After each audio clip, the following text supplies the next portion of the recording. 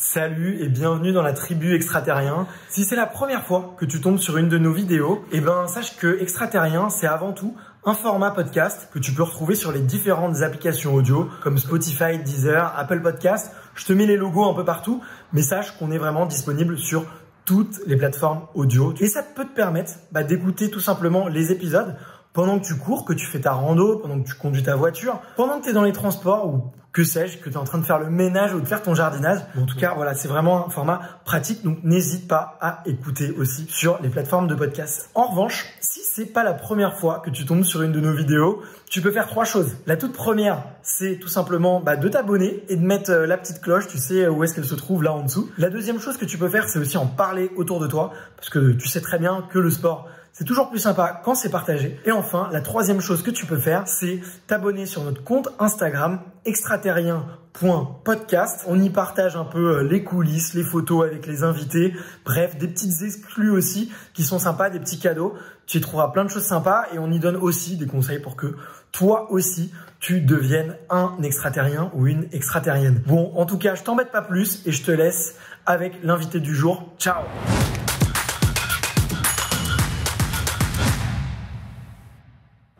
salut Dorian.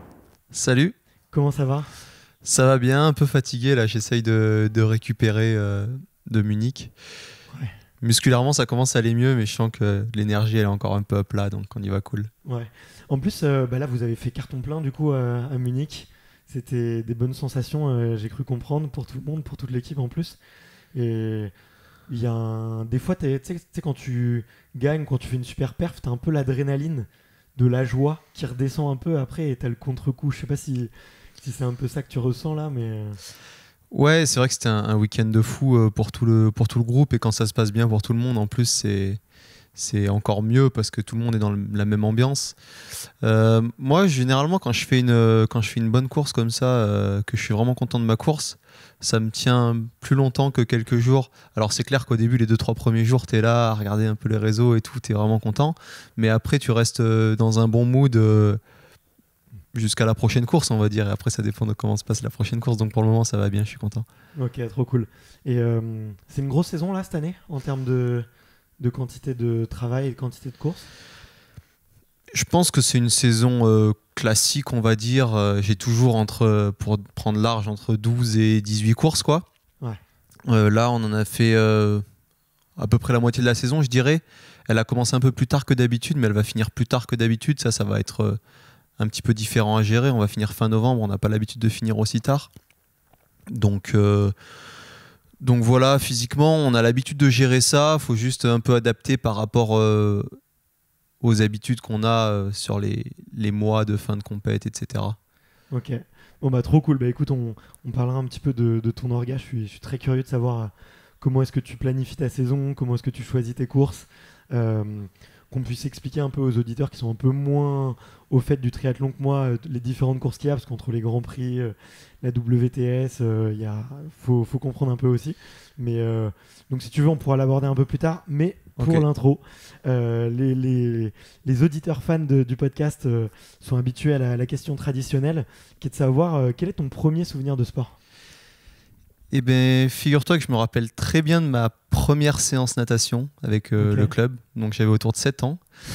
Et en fait, dans beaucoup de clubs de natation, il y a un petit test en début d'année pour voir après où ils mettent les gamins, dans quel groupe on va en fait, en fonction de, du niveau de s'ils savent nager ou pas, notamment. Et moi, je m'étais pété le poignet euh, un mois avant, comme je me le suis souvent pété d'ailleurs.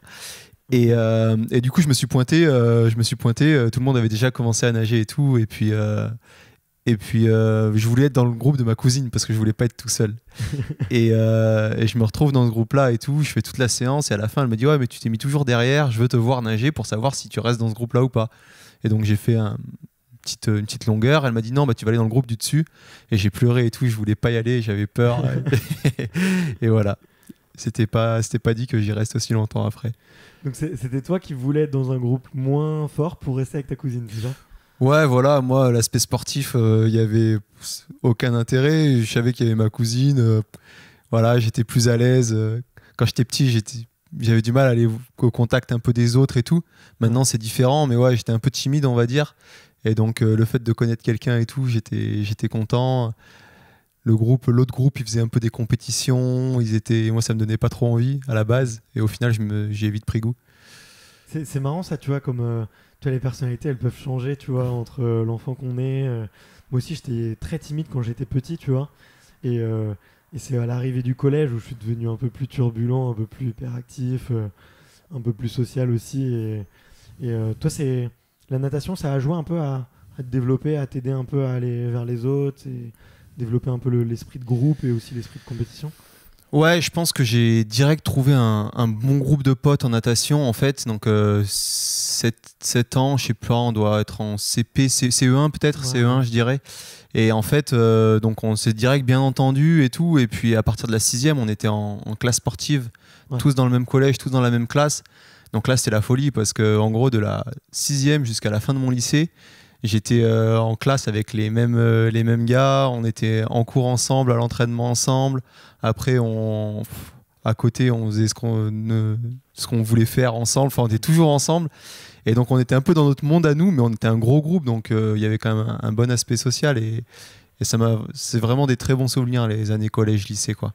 Ouais, j'imagine. C'était que des nageurs dans la classe? Ouais, ouais, il y avait euh, beaucoup de nageurs qui, euh, après au lycée, euh, on est deux à être devenus triathlètes. Il y en a un qui avait arrêté, il y en a quelques-uns qui nageaient encore. Puis on a côtoyé d'autres sports au fur et à mesure, mais notre groupe, c'était vraiment des nageurs. Et il y en a qui ont fait du, haut niveau? Ouais, ben il y avait notamment Jordan Potin, qui fait finale à Rio sur le 400 mètres. Et puis euh, après, j'ai des, j'en ai deux avec qui je, je m'entraînais, des très bons potes à moi aussi, et qui ont arrêté jeunes, mais qui ont fait des championnats de France, un en tri, l'autre en natation, des trucs comme ça. Mais, euh, mais voilà, euh, ouais, il y avait un bon, un bon niveau. Trop chouette, trop trop chouette. Et, et tu te souviens de, de ce qui t'a plu de, tu vois, dans, dans la natation Il y a moi, je sais que je me suis mis très tard sur, sur la natte, c'est mon gros défaut, je nage comme une enclume, quoi. Même encore après des centaines d'heures de, d'entraînement et de cours avec, euh, avec des, profs, tu vois. Et euh, au début, c'était vachement dur parce que j'avais l'impression de, de compter un peu les carreaux, d'être seul avec moi-même aussi, donc c'était un peu, un peu dur. Euh, toi, tu te souviens de, de ce qui t'a plu et de, dans, dans les sensations ou, ou même dans en dehors du groupe, tu vois, euh, qui je pense. Euh, Alors c'est dur à dire. Euh, je sais que à la base, j'ai eu envie d'y aller parce que mon père, il faisait de la natation, ses frères et sœurs, ils en faisaient, puis ils ont fait du water polo. Enfin, ils étaient vraiment dans le milieu de la piscine quand ils étaient jeunes et j'avais envie de faire un peu pareil. Mais ça, c'était vraiment au tout début. Et après, je pense que c'est vrai que l'aspect groupe, il a beaucoup joué pour moi. J'aimais être dans l'eau, même si pour pour le coup, j'étais vraiment frileux. Donc, euh, quand j'étais petit, les premières années, euh, je finissais pas toutes les séances, je les finissais souvent sous la douche. Mais, mais euh, ouais, voilà. Et après, je pense que la compète est assez vite rentrée en compte aussi parce que avec ce groupe-là, on était dans ce mood-là et. Et donc, bah voilà, t'avais envie d'aller à l'entraînement parce qu'après, il y avait les compètes, les machins, et c'était vraiment en bonne ambiance. C'était pas, ouais, je veux faire de la compète, je veux gagner machin, mais c'est, je voulais progresser et être avec mes potes qui faisaient la même chose, quoi. Ouais. Et t'étais compétiteur aussi quand t'étais plus jeune? T'as eu vite euh, l'envie de la gagne, euh, l'envie d'aller gagner des médailles? Ouais, de ouf. J'étais, euh, j'ai toujours été à fond. Je pense que mes trois, quatre premières compètes de natte, c'était la catastrophe. La première, j'ai finir dernier des deux épreuves. le coach, il m'encourageait sur le bord du bassin. J'ai cru qu'il voulait me parler. Je me suis arrêté. J'ai fini, j'ai pas touché le mur. Enfin, c'était, c'était compliqué, mais au fur et à mesure, j'ai commencé à prendre du plaisir et et après, quand j'ai commencé à gagner une ou deux médailles, euh, j'étais vraiment content, alors que ça faisait, ça faisait un an, mais et c'était vraiment les compètes euh, dans le club. Où, mais euh, c'était frustrant de jamais en avoir, de voir les autres qui en avaient et tout. Je me rappelle de ça. Donc, donc je pense que ouais, dès le début, j'étais bien compétiteur. Ok. Et t'as vécu des, des résultats, vécu des, des capacités par rapport aux autres? Disons qu'on était un, comme je disais, un bon groupe. On, est, on avait tous un, un bon niveau à l'échelle de l'aglo. Hein. Mais, euh, mais j'avais des résultats à ce niveau-là, donc vraiment à une toute petite échelle. Mais voilà, et je pense qu'on se poussait un peu entre nous. Euh, c'était un peu la compète à celui qui aurait les, les meilleurs trucs dès le début. Quoi. Après, j'ai pratiqué aussi beaucoup de, de sports différents. Euh, et à chaque fois, il y avait un peu cette notion-là que j'aimais bien. Ouais. T'as fait quoi d'autre? J'ai fait du hand, notamment. je me suis même posé la question à un moment entre la natation et le hand à l'époque, je me rappelle. J'ai fait, euh, après j'ai fait du judo, un peu d'athlé. avec mon père, je faisais beaucoup tout ce qui est snow, VTT. J'ai fait du cirque aussi. J'aimais bien. Voilà, pour le coup, il n'y avait pas de compète, mais, mais voilà. À jongler, à faire des saltos. Ouais, des trucs comme ça, ouais. Donc, non, j'ai fait plein de trucs et je, je me rappelle, en fait, mes parents, ils m'amenaient au, au Forum des sports en début d'année et c'est moi qui choisissais. À chaque fois, je choisissais deux ou trois sports. J'y étais presque tous les soirs, mais j'avais besoin de ça aussi pour me, pour me canaliser un petit peu. Ok, ouais, donc dès, dès le début, il y avait une, un avant-goût du multisport, quoi. D'envie de, toucher à plusieurs. Euh, ouais, ouais, j'avais envie de, de, me dépenser. mais euh, franchement, c'est trop cool, tu vois, ces forums du sport euh, où tu peux tous les ans tester un nouveau truc. c'est moi, c'est trop cool. Enfin, moi, j'en avais un aussi dans ma ville. Et je sais que ça m'a permis d'explorer, de tester, d'être un peu touche à tout, de goûter à plein de sports différents. Et je trouve pour un enfant, c'est génial, quoi, parce que c'est dur de trouver son sport. Tu vois, ouais, c'est ça. Dans lequel tu te plais, avec les gens qui te plaisent, avec les coachs qui te plaisent, avec euh, tout ça, euh, c'est pas toujours évident. Je trouve que c'est super important. Et puis, quand t'es gamin, tu connais pas, tu les connais pas tous les sports. Et du coup, le fait d'aller, de voir, il y a des fois des petites démos, des petits machins. C'est ça qui va te donner envie en fait. Et puis du coup, au moins, tu sais ce que t'aimes, tu sais ce que t'aimes pas. Et en plus de ça, euh, je pense que c'est très formateur parce que tu vas développer des, bonnes habilités, habilités motrices euh, pour la suite, etc. Même si c'est pas le but au début. Mais toujours est-il que moi, qui maintenant me retrouve à faire du sport de haut niveau, je suis content d'avoir touché à tout quand j'étais petit. Ouais. Non, et puis même pour, euh, pour un humain lambda, pour le commun des mortels, comme j'aime dire, tu vois, tu as une mémoire musculaire quand même ou une mémoire de motricité qui qui fait que bah, explorer plein de sports, ouais, tu développes ton intelligence euh, physique, euh, ton équilibre de manière générale, euh, plein de monicité. Donc c'est bon. Dans tous les cas, je pense que c'est. Ouais, carrément. Puis socialement aussi, je pense. Je sais plus avec qui j'en parlais il y a pas longtemps. Et euh, je trouve que c'est vachement plus euh, facile de nouer des liens quand t'es gamin, si en plus t'es un peu introverti et tout, dans le milieu du sport qu'à l'école, parce qu'à l'école euh, tu vois tout le temps les mêmes pendant longtemps, etc. Alors que dans le milieu du sport, tu les vois une ou deux fois par semaine, tout le monde est dans le même mood, tout le monde est là pour la même chose, et du coup ça, tu crées des liens plus facilement, je pense. Ouais, et puis il y a une notion de, plaisir comparé à l'école. Ouais, bah ouais, c'est du jeu quoi. Tu, tu crées plus des liens avec les autres quoi. Ouais, je pense. Ouais. Et t'étais comment à l'école? Euh, Dissipé. ouais, non, en fait, j'ai toujours eu du mal à tenir en place. Donc, euh, donc, ça se voyait à l'école. Euh, je parlais, je me retournais, j'étais. Au passé la, première heure, j'avais plus trop de capacité de concentration. Après, ça se passait globalement très bien primaire, collège. En fait, le problème, c'est que je bossais pas trop, puis j'étais à fond dans le truc de la natation et tout. Donc, tant que c'est pas trop dur et qu'en écoutant en cours euh, un minimum, ça suffit. Euh. donc primaire, collège, ça allait très bien. Au lycée, ça a été un peu la... C'est devenu plus compliqué. D'année en année, je voyais que ça descendait. J'ai réussi à avoir le bac. Euh, donc l'essentiel était assuré. Mais ouais, c'était pas, pas trop pour moi. Et surtout, en fait, j'étais tellement, à partir du collège, tellement à fond dans mon truc de la natation, etc. parce que j'adorais ça et que je pensais qu'à ça, que les cours, euh, j'avais plus de mal à, m'y mettre. J'avais, quand je rentrais de l'entraînement, j'avais pas envie de faire mes devoirs, etc. Donc, euh, donc c'était un petit peu, un peu plus compliqué. Ok, ouais, donc euh, un peu dissipé, un peu d'énergie à revendre et difficile de tenir en place quelques heures pendant, sur une chaise, quoi. Ouais, voilà, c'est ça. Mmh. Ok. C'est la concentration qui me faisait un peu défaut. Je, je devais pas être forcément toujours très agréable pour les profs. Après, c'était pas du, manque de respect ou, euh, ou quoi que ce soit. J'avais pas envie de mettre le bordel plus que ça, mais c'est juste que c'est juste que j'avais du mal à, ouais, à tenir en place quoi. Il, y a, eu des moments où c'était c'était un peu dur. Justement, euh, tu vois, je me reconnais pas mal dans, ce que tu dis parce que j'étais ouais j'étais j'étais pareil. Tu vois, j'ai eu beaucoup, moi j'avais beaucoup d'énergie, j'avais besoin de faire beaucoup de sport euh, et, je sais que il y avait des moments, la, fin de matinée, ça commençait à être chaud et j'ai eu certains profs qui m'ont pris en grippe, tu vois, euh, juste parce que euh, j'avais euh, le cours avec le mauvais horaire pour moi, tu vois, soit en fin de journée ou en fin de matinée, où tu viens de passer 4 heures sur une chaise, t'en peux plus, t'as qu'une seule envie, c'est d'aller manger, d'aller faire un foot avec tes copains dans la cour, tu vois. Et, moi, il y a eu des moments où ouais, je me sentais pas forcément bien, mais tu vois, j'ai eu perdu un peu confiance en moi à cause de certains profs qui n'ont pas toi qui me voyais comme un élément perturbateur, comme pas concentré, comme soi-disant j'aimais pas leur matière, alors qu'en fait euh, j'avais juste envie de bouger, quoi, tout simplement. Ouais, bah, je pense qu'au collège ça se passait relativement bien. Donc déjà on était dans une vraie classe sportive. Ouais, et, donc, euh, puis, on avait. le euh, contexte est posé. ouais, le contexte, le contexte est posé. Puis moi, ça suivait encore. J'avais des très bonnes notes encore au collège parce que voilà, j'avais la chance que j'enregistrais assez vite, etc. Donc, donc ça se passait encore bien. Mais euh, j'ai commencé à vraiment augmenter la, charge d'entraînement en troisième. Donc euh, en troisième, euh, ça m'arrive. 14 ans à peu près, ouais. Ouais, 14-15 ans, je pense. En troisième, ça m'arrivait de m'entraîner 10 fois par semaine. Donc souvent, souvent j'allais nager le matin avant les cours. genre deux fois dans la semaine. Puis le mercredi, le samedi, je nageais deux fois aussi. Donc donc là, euh, bah, quand tu nages de 7h à 8h30, tu arrives en cours, euh, tu as envie de dormir les deux dernières heures. Mais au moins, au moins j'étais assez calme. Ouais. Donc euh, voilà, et c'est vraiment au lycée que ça a été compliqué parce que là, pour le coup, je m'entraînais beaucoup.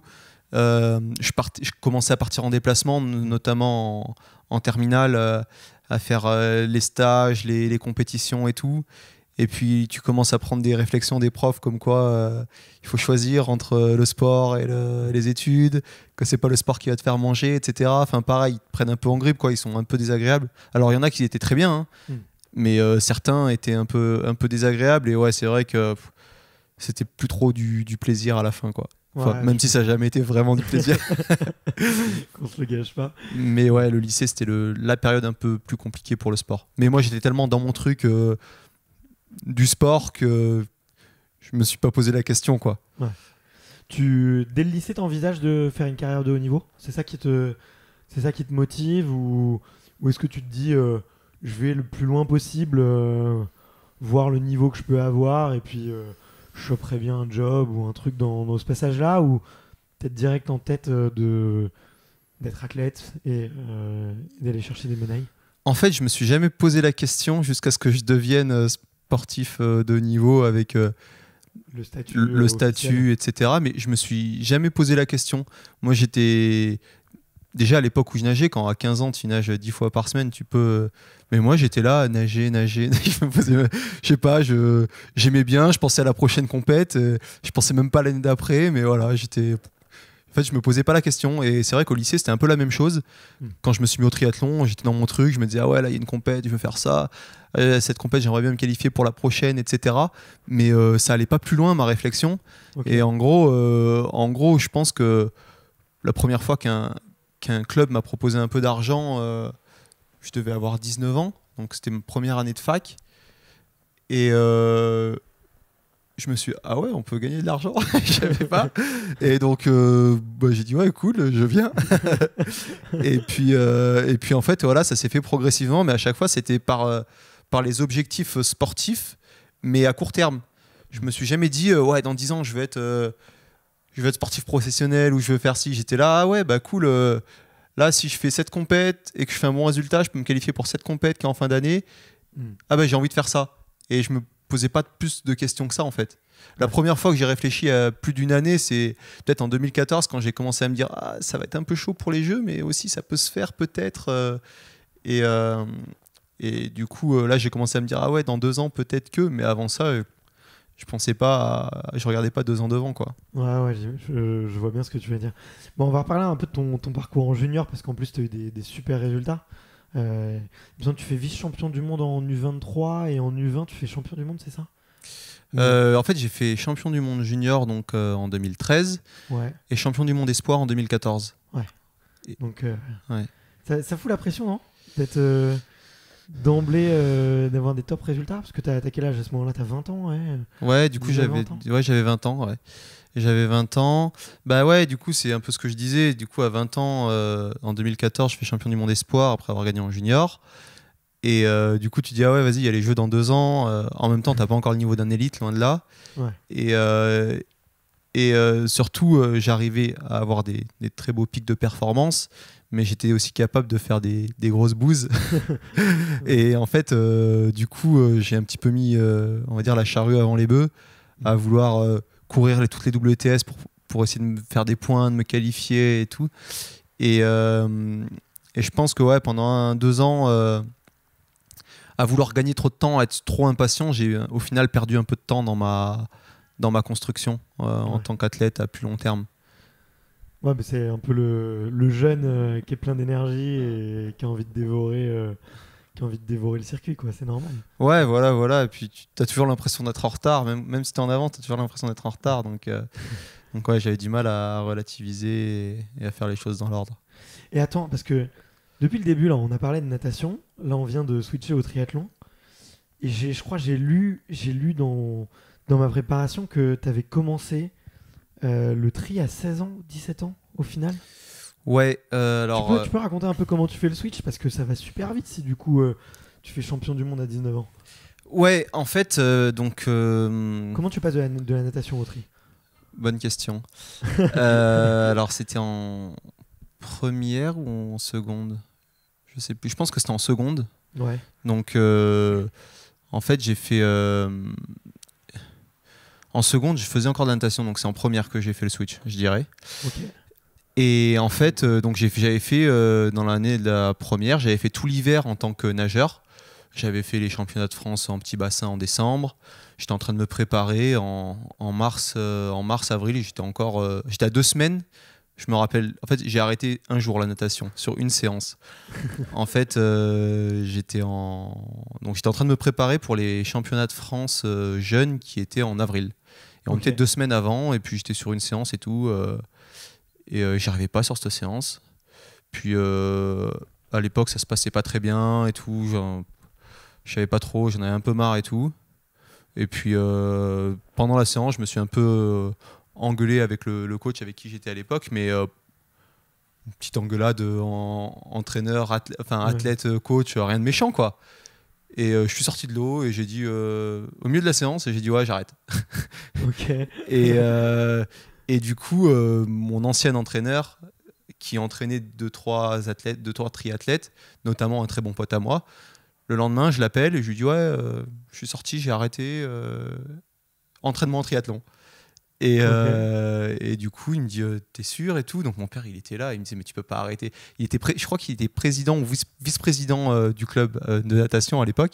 Je dis Mais tu peux pas arrêter comme ça T'es sûr? Enfin, Ça fait 10 ans que tu fais ça à fond. Et là, d'un coup, du jour au lendemain, je suis Ouais, non, c'est bon, j'arrête. Et je me suis mis au triathlon comme ça, ce jour-là. Donc, j'ai pas fait les championnats de France de natation parce que j'avais décidé de me mettre au triathlon. Et euh, voilà, quelques, j'ai fait euh, quelques semaines d'entraînement donc avec euh, mon pote de l'époque. Et puis je suis arrivé au championnat de France de duathlon. Globalement, le niveau physique était pas mal. Je fais cinquième, je crois, avec les deux meilleurs temps course à pied. Bon, c'est une catastrophe à vélo parce que j'arrivais Ok. pas à rouler droit, j'étais pas à l'aise Ouais. dans un pack et tout, mais mais du coup suffisamment pour que ça me plaise quoi. Et donc après, j'ai continué, j'ai commencé à m'entraîner un peu plus sérieusement l'été. J'ai fait les championnats de France de triathlon où je fais deuxième, donc j'ai eu une première petite Ah ouais, sélection et tout. ouais. Et, euh, et voilà, c'est comme ça que je m'y suis mis. En 2000, euh, 2011, du coup. Ouais. 2011, ouais. Ouais, donc t'as as assez rapidement des résultats et ça te motive et, et du coup t'es es parti pour. euh, Ouais, exactement, ouais.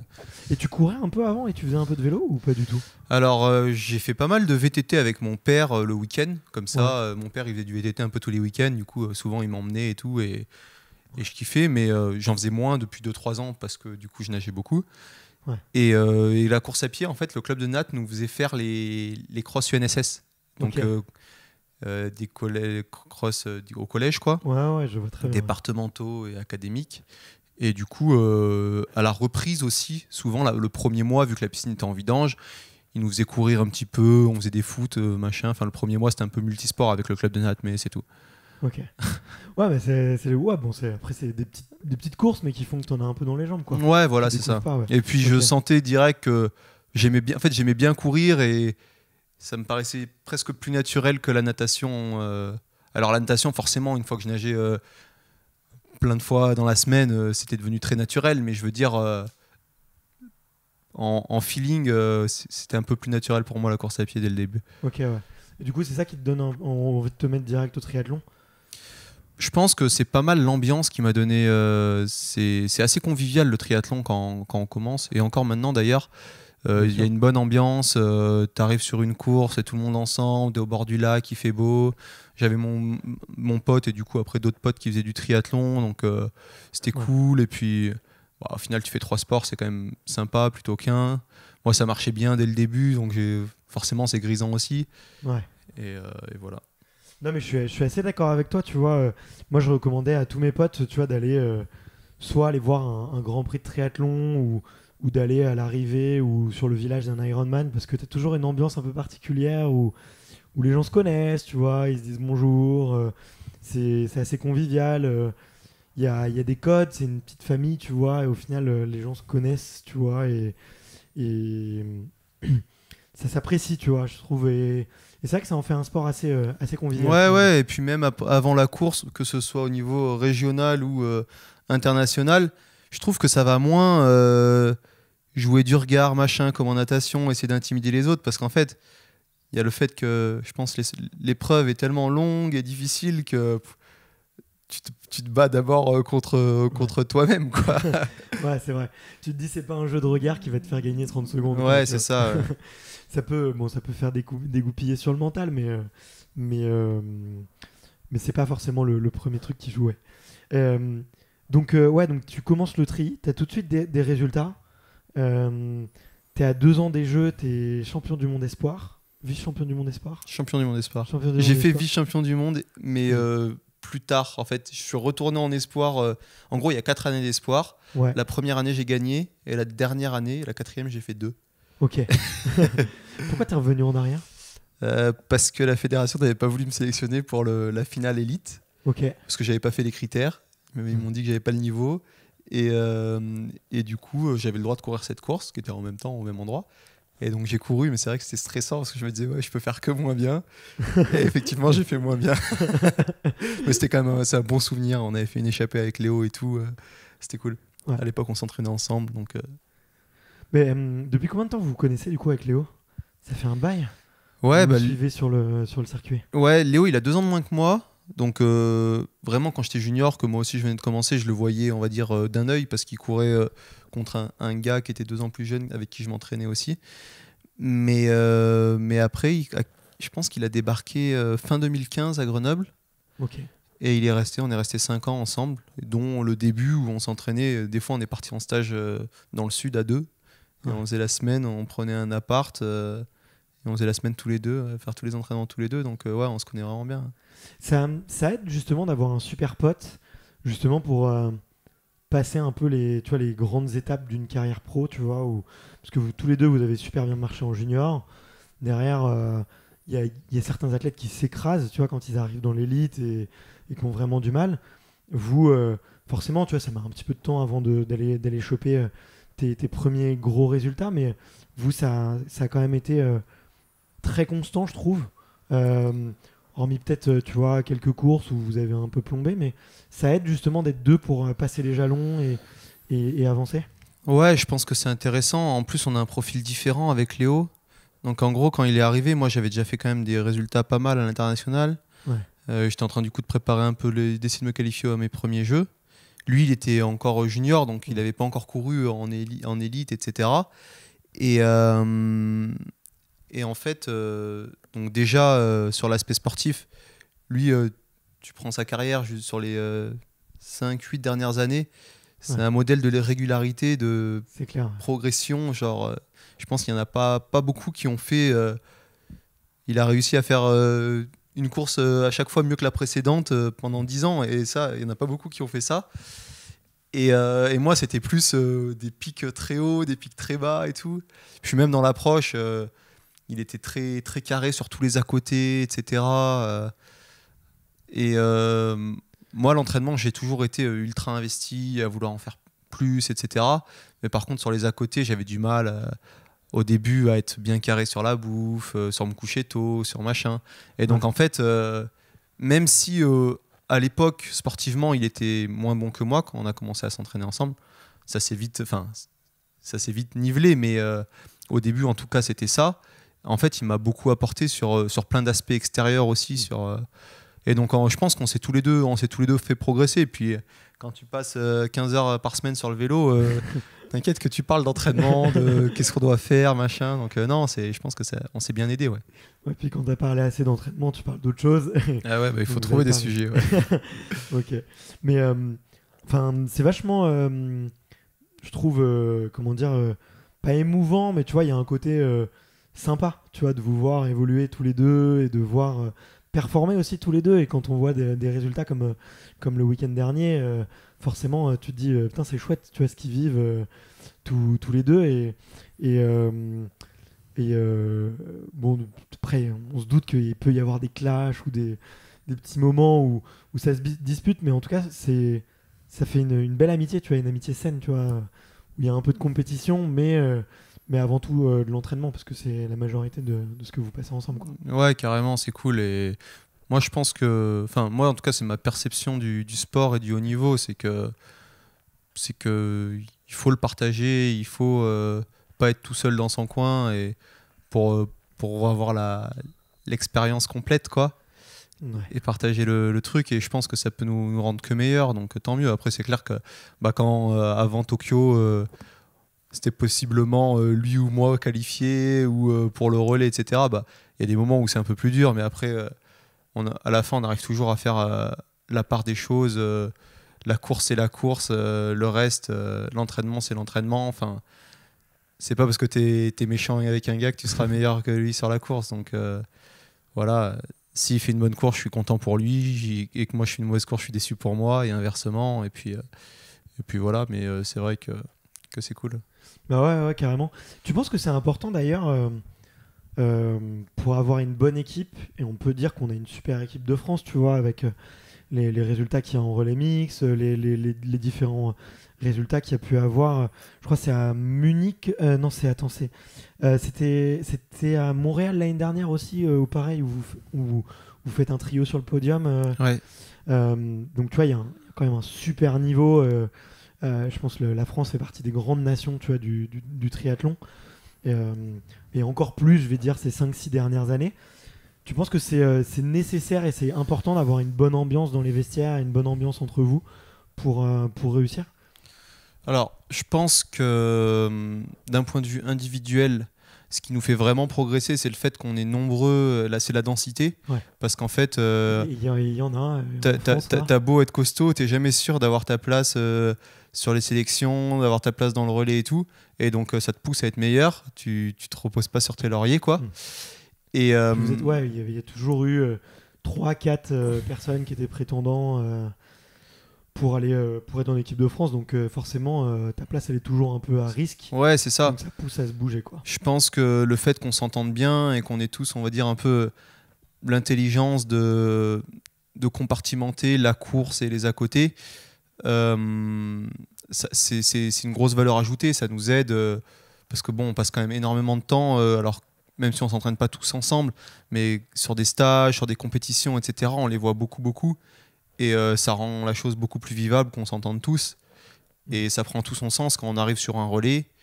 Si euh, t'aimes bien les gars avec qui tu cours, t'as encore moins envie de plomber le relais, t'as encore plus envie de, faire le job pour eux. quoi. Tu y vas en tant qu'équipe et du coup ça divise un peu la pression, je pense aussi. Alors que si euh, personne peut se piffrer, c'est plus compliqué. tu es là, tu as des individualités qui font, qui font une course et, et bon, il n'y a pas cet esprit qui, fait, qui nous aide. Après, les, je pense que quand on regarde un peu les différents sports, le relais, c'est un truc euh, qui marche bien en France. Donc, euh, à, savoir euh, pourquoi, je n'ai pas la réponse, mais c'est vrai que psychologiquement, il, se passe quelque chose. Quoi. Ouais, ouais, mais carrément. Il y a des, tu le vois qu'il y a d'autres nations où, où tu vois que le courant passe moins et que du coup, ça s'en sent sur les, sur, sur les résultats? Ouais, ouais, on, globalement, ça se voit que il y en a, ils, soit ils se connaissent pas trop, soit ils s'entendent pas trop, mais euh, ils arrivent euh, voilà, pour faire euh, leur course dans le relais, quoi, pas pour faire la course en équipe. mais, en tout cas, tu vois, ça s'est senti à Tokyo. Alors, moi, j'étais un petit peu triste parce que je savais vos résultats, tu vois, et, forcément, tu te dis, bon, après, après plusieurs titres de champion du monde, les jeux, tu as envie de les avoir, tu vois. Mais, mais au final, vous faites la première médaille olympique du triathlon français, quand même. C'est quand même beau on a quand même senti que vous, vous étiez super content et que avec euh, Émilie, Cassandre et, Vincent, euh, vous êtes quand même. Euh, Léonie. Léonie, à chaque fois, à chaque fois, je, à chaque fois, je me trompe. Désolé, Léonie, si tu m'entends. Même si Émilie était remplaçante aussi, mais ouais, c'est Léonie qui était mais à, chaque fois, je les confonds, les, les, les deux noms, c'est horrible.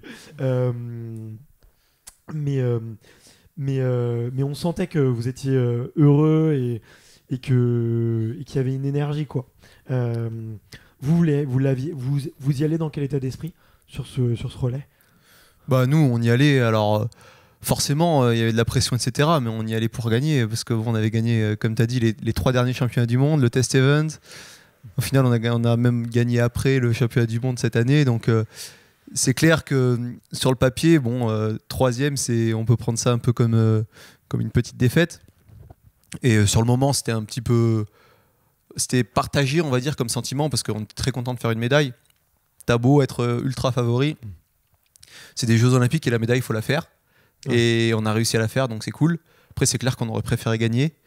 Euh, ça s'est pas passé. Je pense qu'on avait eu euh, sur beaucoup de relais les années d'avant tout qui s'alignait correctement parce qu'il euh, y a besoin d'un petit, il y a toujours besoin d'un petit peu de réussite, qu'il n'y ait aucun couac, etc. Et c'était le cas. Là, ça s'est pas tout aligné parfaitement. On a eu un poil moins de réussite que ce qu'on peut avoir. Mais euh, sur euh, la force de chacun, tout le monde a fait euh, la course du mieux qu'il pouvait. Et sur la force de chacun, on a réussi à accrocher la, médaille de bronze en revenant en plus sur le dernier relais sur la tête avec Vincent. Qui, qui, nous a bien fait vibrer d'ailleurs parce que voilà il a, il a vraiment tout tenté pour, pour gagner quoi. Ouais, il a failli, il a failli il, part à l'attaque, c'est ça, sur euh, le vélo euh, il Ouais, il, revient sur l'anglais euh, après avoir bouché un gros trou et en plus, il, en plus, il attaque directement. Il a essayé, il savait que l'anglais était très fort à pied.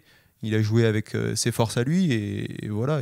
Et, donc, c'est vrai que jusqu'au dernier moment, on, y a mm. cru et il y avait un, tout petit goût d'inachevé, mais en fait, en relativisant, on était déjà très content de. Ouais. Qu'est-ce qu'il a manqué selon toi? En fait, euh, donc on avait, on avait fait le, choix en tant qu'équipe parce que c'est vraiment euh, nous les athlètes qui décidons euh, de la, de l'ordre et de la stratégie, de mettre Léonie en première relayeuse. et malheureusement, il y a eu une échappée à la sortie de la natte. On savait que elle a, elle, elle est pas, elle a pas le niveau pour prendre les échappées s'il y a une ou deux filles qui se barrent. Et en fait, en général, euh, en général, ça se regroupe tout. Et là, c'est vrai que les filles devant, elles ont été fortes, elles ont réussi à maintenir l'écart. Donc ça a mis euh, notamment les Anglais et les Américains un peu sur orbite. Mais euh, après, derrière, elle, fait, elle fait une super course, elle, elle court super vite, etc. Et, et donc, donc voilà, en fait, elle a fait la course, la meilleure course qu'elle pouvait. Elle fait une très bonne course. C'est juste qu'il s'est trouvé que les nations, elles ont réussi à bien s'entendre devant. Et c'est pas toujours le cas. Donc, donc voilà, derrière Derrière, moi, pareil, euh, j'essaye de faire une bonne course.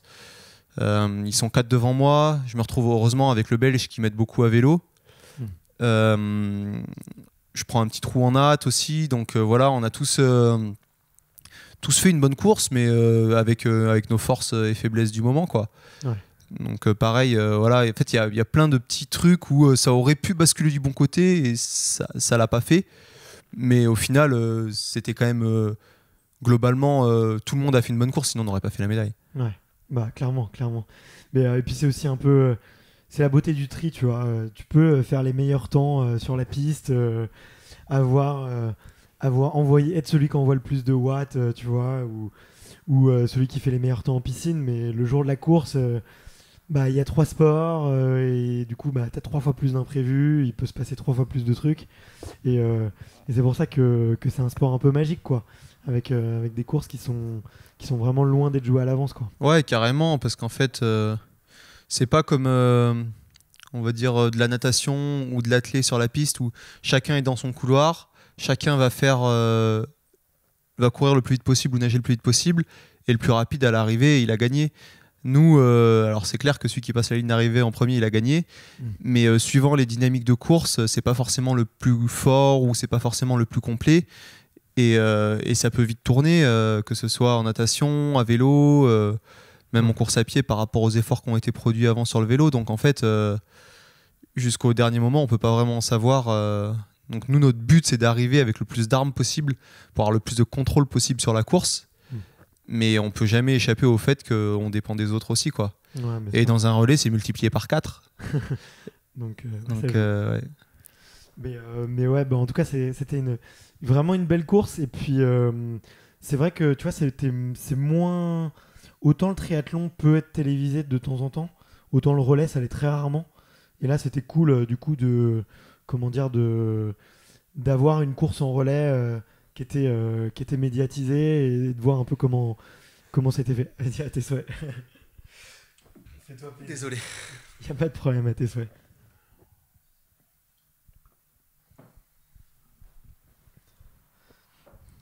Mais, euh, mais chouette souvenir. Est-ce que c'est. C'est. euh, Est-ce que c'est un de tes. Quel- enfin, C'est quoi ton meilleur souvenir d'ailleurs de course? Ta plus belle course euh, Des bons souvenirs, je commence à avoir- en avoir pas mal, donc c'est cool. Euh, J'en ai quelques-uns, mais ils sont, ils sont différents. Les, je pense que celui qui m'a procuré le plus d'émotions, c'est ma victoire euh, sur la WTS des Bermudes. Ouais. Parce que C'était en 2019, c'est ça? 2019, Ouais. sur un CD, à l'époque, c'est vrai que j'avais un peu la réputation euh, d'avoir du mal à passer sur CD, d'être meilleur sur sprint et tout. Donc que je gagne ma première WTS sur CD, c'était quand même quelque chose. CD, pour préciser aux auditeurs qui connaissent pas, c'est la distance. C'est le format. Ouais, ouais, ouais. Donc euh, CD, c'est euh, 1500 mètres natation, 40 km de vélo, 10 km de course à pied. On dit aussi M. Ouais. Ou- On- ou format maintenant, olympique, maintenant on euh, dit M, c'est vrai. ouais. Euh, Et, euh, et sinon, des fois, on a des distances qui sont moitié plus courtes. et- le sprint. Ou le S. Et Voilà. c'est ça. Voilà. Et, euh, et donc, ouais, en plus, il n'y a pas de souci. En plus, c'était euh, une période où j'étais vraiment pas très bien. euh, j'avais plus trop d'envie de m'entraîner. J'avais pris une, une grosse désillusion un mois, un mois et demi avant. Je comprenais pas. J'avais l'impression que j'y arriverais pas. J'avais limite envie d'arrêter l'entraînement, etc. Donc, je me suis pointé là-bas un peu euh, amoindri. J'étais même un peu blessé. Ça faisait une semaine que j'arrivais pas trop à courir et tout. À croire que ça m'a réussi de pas courir. et au final, ouais, je fais une super course, je gagne la course et tout. Donc, euh, ça a fait un, gros ascenseur émotionnel entre avant la course et après la course. Et donc, pour ça, c'est. D'autant plus que j'ai vraiment eu des très bonnes sensations. Le genre de sensation euh, qui arrive pas souvent. Donc, euh, donc non, c'est vraiment un bon souvenir. Il se passe quoi ce jour-là? Un- Tu te dis j'ai rien à perdre, je suis mal préparé, du coup tu vas avec une liberté d'esprit qui est différente. C'est selon toi, euh, si tu dois analyser un peu, euh, plus en détail cet événement, qu'est-ce qui le fait de ne pas avoir couru qui te repose et du coup des fois ça fait du bien un peu d'avoir un peu un trou dans la préparation quand même. mais- Ouais, bah, moi déjà, je pense que je travaille beaucoup en prépa mentale parce que ça a toujours été euh, un, point faible chez moi.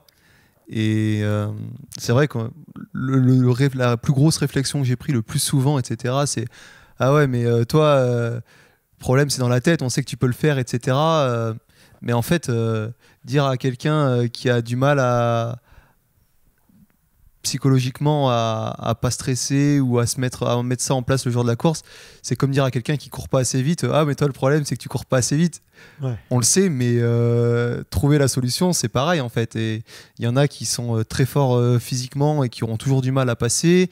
Il y en a leur point faible ça va être qu'ils sont très forts mais qui se blessent. Il y en a d'autres ça va être euh, voilà. Et en fait chacun son point faible. Moi je sais que c'est ça et, et donc je pense que ça m'a je pense que ça m'a. C'est clair que le fait de ne pas être euh, très en forme, de pas savoir trop où j'en étais, bah, au moins je me suis mis zéro pression quoi. Ouais. Et euh, je me rappelle deux jours avant la course, j'avais j'étais allé voir les- le coach national. Je lui ai dit ouais, écoute, euh, c'est pas sûr que je puisse courir. Si c'est pas le cas, je ferai le, le domestique pour aider les gars en vélo quoi. au final, avant la course, je savais que j'allais courir, mais, mais j'ai décidé ça la veille au soir. quoi. Et puis je m'étais dit, bon, ben, vu que tu sais qu'à pied c'est un peu limite et tout, quand tu pars à pied, tu regardes pas les autres, tu baisses les. Parce que ça part très vite en triathlon. Ouais. En fait, euh, Ouais, autant. vous faites la transition et on voit que, que ça dégaine Ouais, direct. autant en athlée, les gars, ils essayent d'avoir un pacing bien plat pour euh, Mm. aller le plus vite possible. Autant, autant en triathlon, déjà, tu poses le vélo, tu as les pulses à 180 en général. Ouais. Et puis, c'est un peu, ça part un petit peu à l'intox, etc. Et donc, en fait, euh, ça part très, très vite. Et moi, j'ai- j'ai un peu de mal avec ça, en plus. Et donc là, je m'étais dit, bon, tu t'en fous, euh, tu t'en fous des autres, tu baisses les yeux et euh, tu pars à l'allure euh, à laquelle tu sens que tu peux courir 10 bornes, Mm. mais pas plus vite, quoi. Et donc, en fait, c'est ce que j'ai fait. Et euh, je me suis mis dans ma bulle et fin du premier tour, j'étais euh, 15 secondes ou 13 secondes derrière la tête, je crois. Et sauf qu'en fait, j'ai vraiment lissé mon allure et à un moment donné, euh, je lève la tête et j'étais en train de revenir sur eux. Et à partir de là, je me suis dit, bon, vas-y, reste dans ton truc à fond. Et donc, je suis rentré sur eux comme ça. Et après, on était quatre. Puis ça s'est joué euh, au finish. euh, Il y avait une bosse, j'ai attaqué dans la bosse. Et... Donc après, c'était du, du bonus, quoi. Mais ouais, vraiment, toute la, toute la mise en route, la première partie de course à pied, c'était. euh, mon objectif, c'était juste de faire ma course. Ouais. Et je pense que ça m'a beaucoup aidé. T'es dans le flow sur les derniers, les derniers kilomètres? Tu, tu sens qu'il se passe un truc euh, Ouais, je sens que je, sens que je suis. euh, Alors, c'est- c'est ou- c'est toujours, euh, c'est toujours très dur. hein. C'est des, même quand t'es bien, Ouais. c'est quand même dur. Tu sens que, que t'as plus trop de marge, quoi. Tu vois, musculairement et tout, tu sens que ça devient dur. Mais euh, je sentais que j'étais, euh, c'était très dur, mais que j'étais pas, j'avais encore un, tout petit peu de réserve. Et puis, euh, je sais que j'ai quand même la capacité de finir vite. Mm. Donc, euh, je me dis bon, t'attends, t'attends le plus possible. Et si t'es encore là, bah, tu mets la, la plus grosse cacahuète que tu peux mettre et puis, puis on voit ce que ça donne quoi. Ouais. Et en gros, j'ai attendu, j'ai attendu, euh, ça a accéléré un peu, mais rien d'insuivable. Du coup, quand j'ai pu la mettre, euh, j'en ai profité et ça s'est bien passé. Mais, euh, moi, ça, c'est un des trucs que j'adore dans le tri à regarder, mais à en faire, ouais, c'est que l'allure, elle est. Elle est. Enfin, ça part un peu dans tous les sens, quoi. Ça, d'un seul coup, ça avance, d'un seul coup, ça attaque, après, ça ralentit, tout le monde se suit, ça peut repartir d'un moment ou un autre. Du coup, c'est.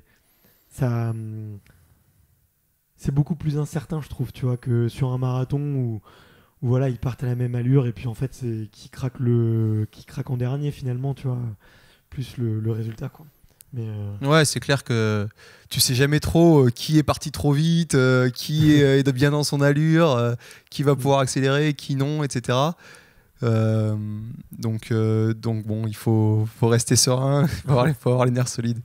et, euh, tu dis que on te dit souvent que t'as pas le mental. Pourquoi on te dit, pourquoi on te dit ça? C'est pas vraiment qu'on me dit que j'ai pas le D'ailleurs, on te mental. On te le dit plus, on te On- le disait. On me le disait exactement. Non, là j'ai trouvé pas mal de régularité ces dernières années et c'est cool, mais c'est vrai que ben, parce que c'était en fait j'avais tendance à pas à paniquer, mais voilà, soit euh, avec le avec le stress, à être trop crispé, manquer de relâchement, etc. Et du coup ça me ben, je perdais un peu mes moyens, soit euh, à devenir impatient et euh, pareil me faire un peu dépasser par mes émotions, etc. Ça m'est arrivé plein de fois. Mm. Et, euh, et moi, le premier, je savais que c'était en grosse partie ça. Mais donc euh, voilà, je faisais de la prépa mentale et j'ai commencé euh, assez tard. Mais à quel moment ça joue du coup, tu vois, ce, ce stress et sur les transitions où tu fais, tu fais des bêtises? C'est euh, ça peut, ça c'est peut. des mauvaises stratégies de course, euh, des moments où tu pourrais te placer où tu le fais pas parce que justement tu es, en train de penser à autre chose. Comment, comment ça, peut se matérialiser? Tu vois, Euh, Parce que tu vois, euh, quelqu'un qui connaît pas euh, peut-être le haut niveau ou la prépa mentale, il va te dire que quand tu cours, à quoi ça sert le mental, entre guillemets, tu vois.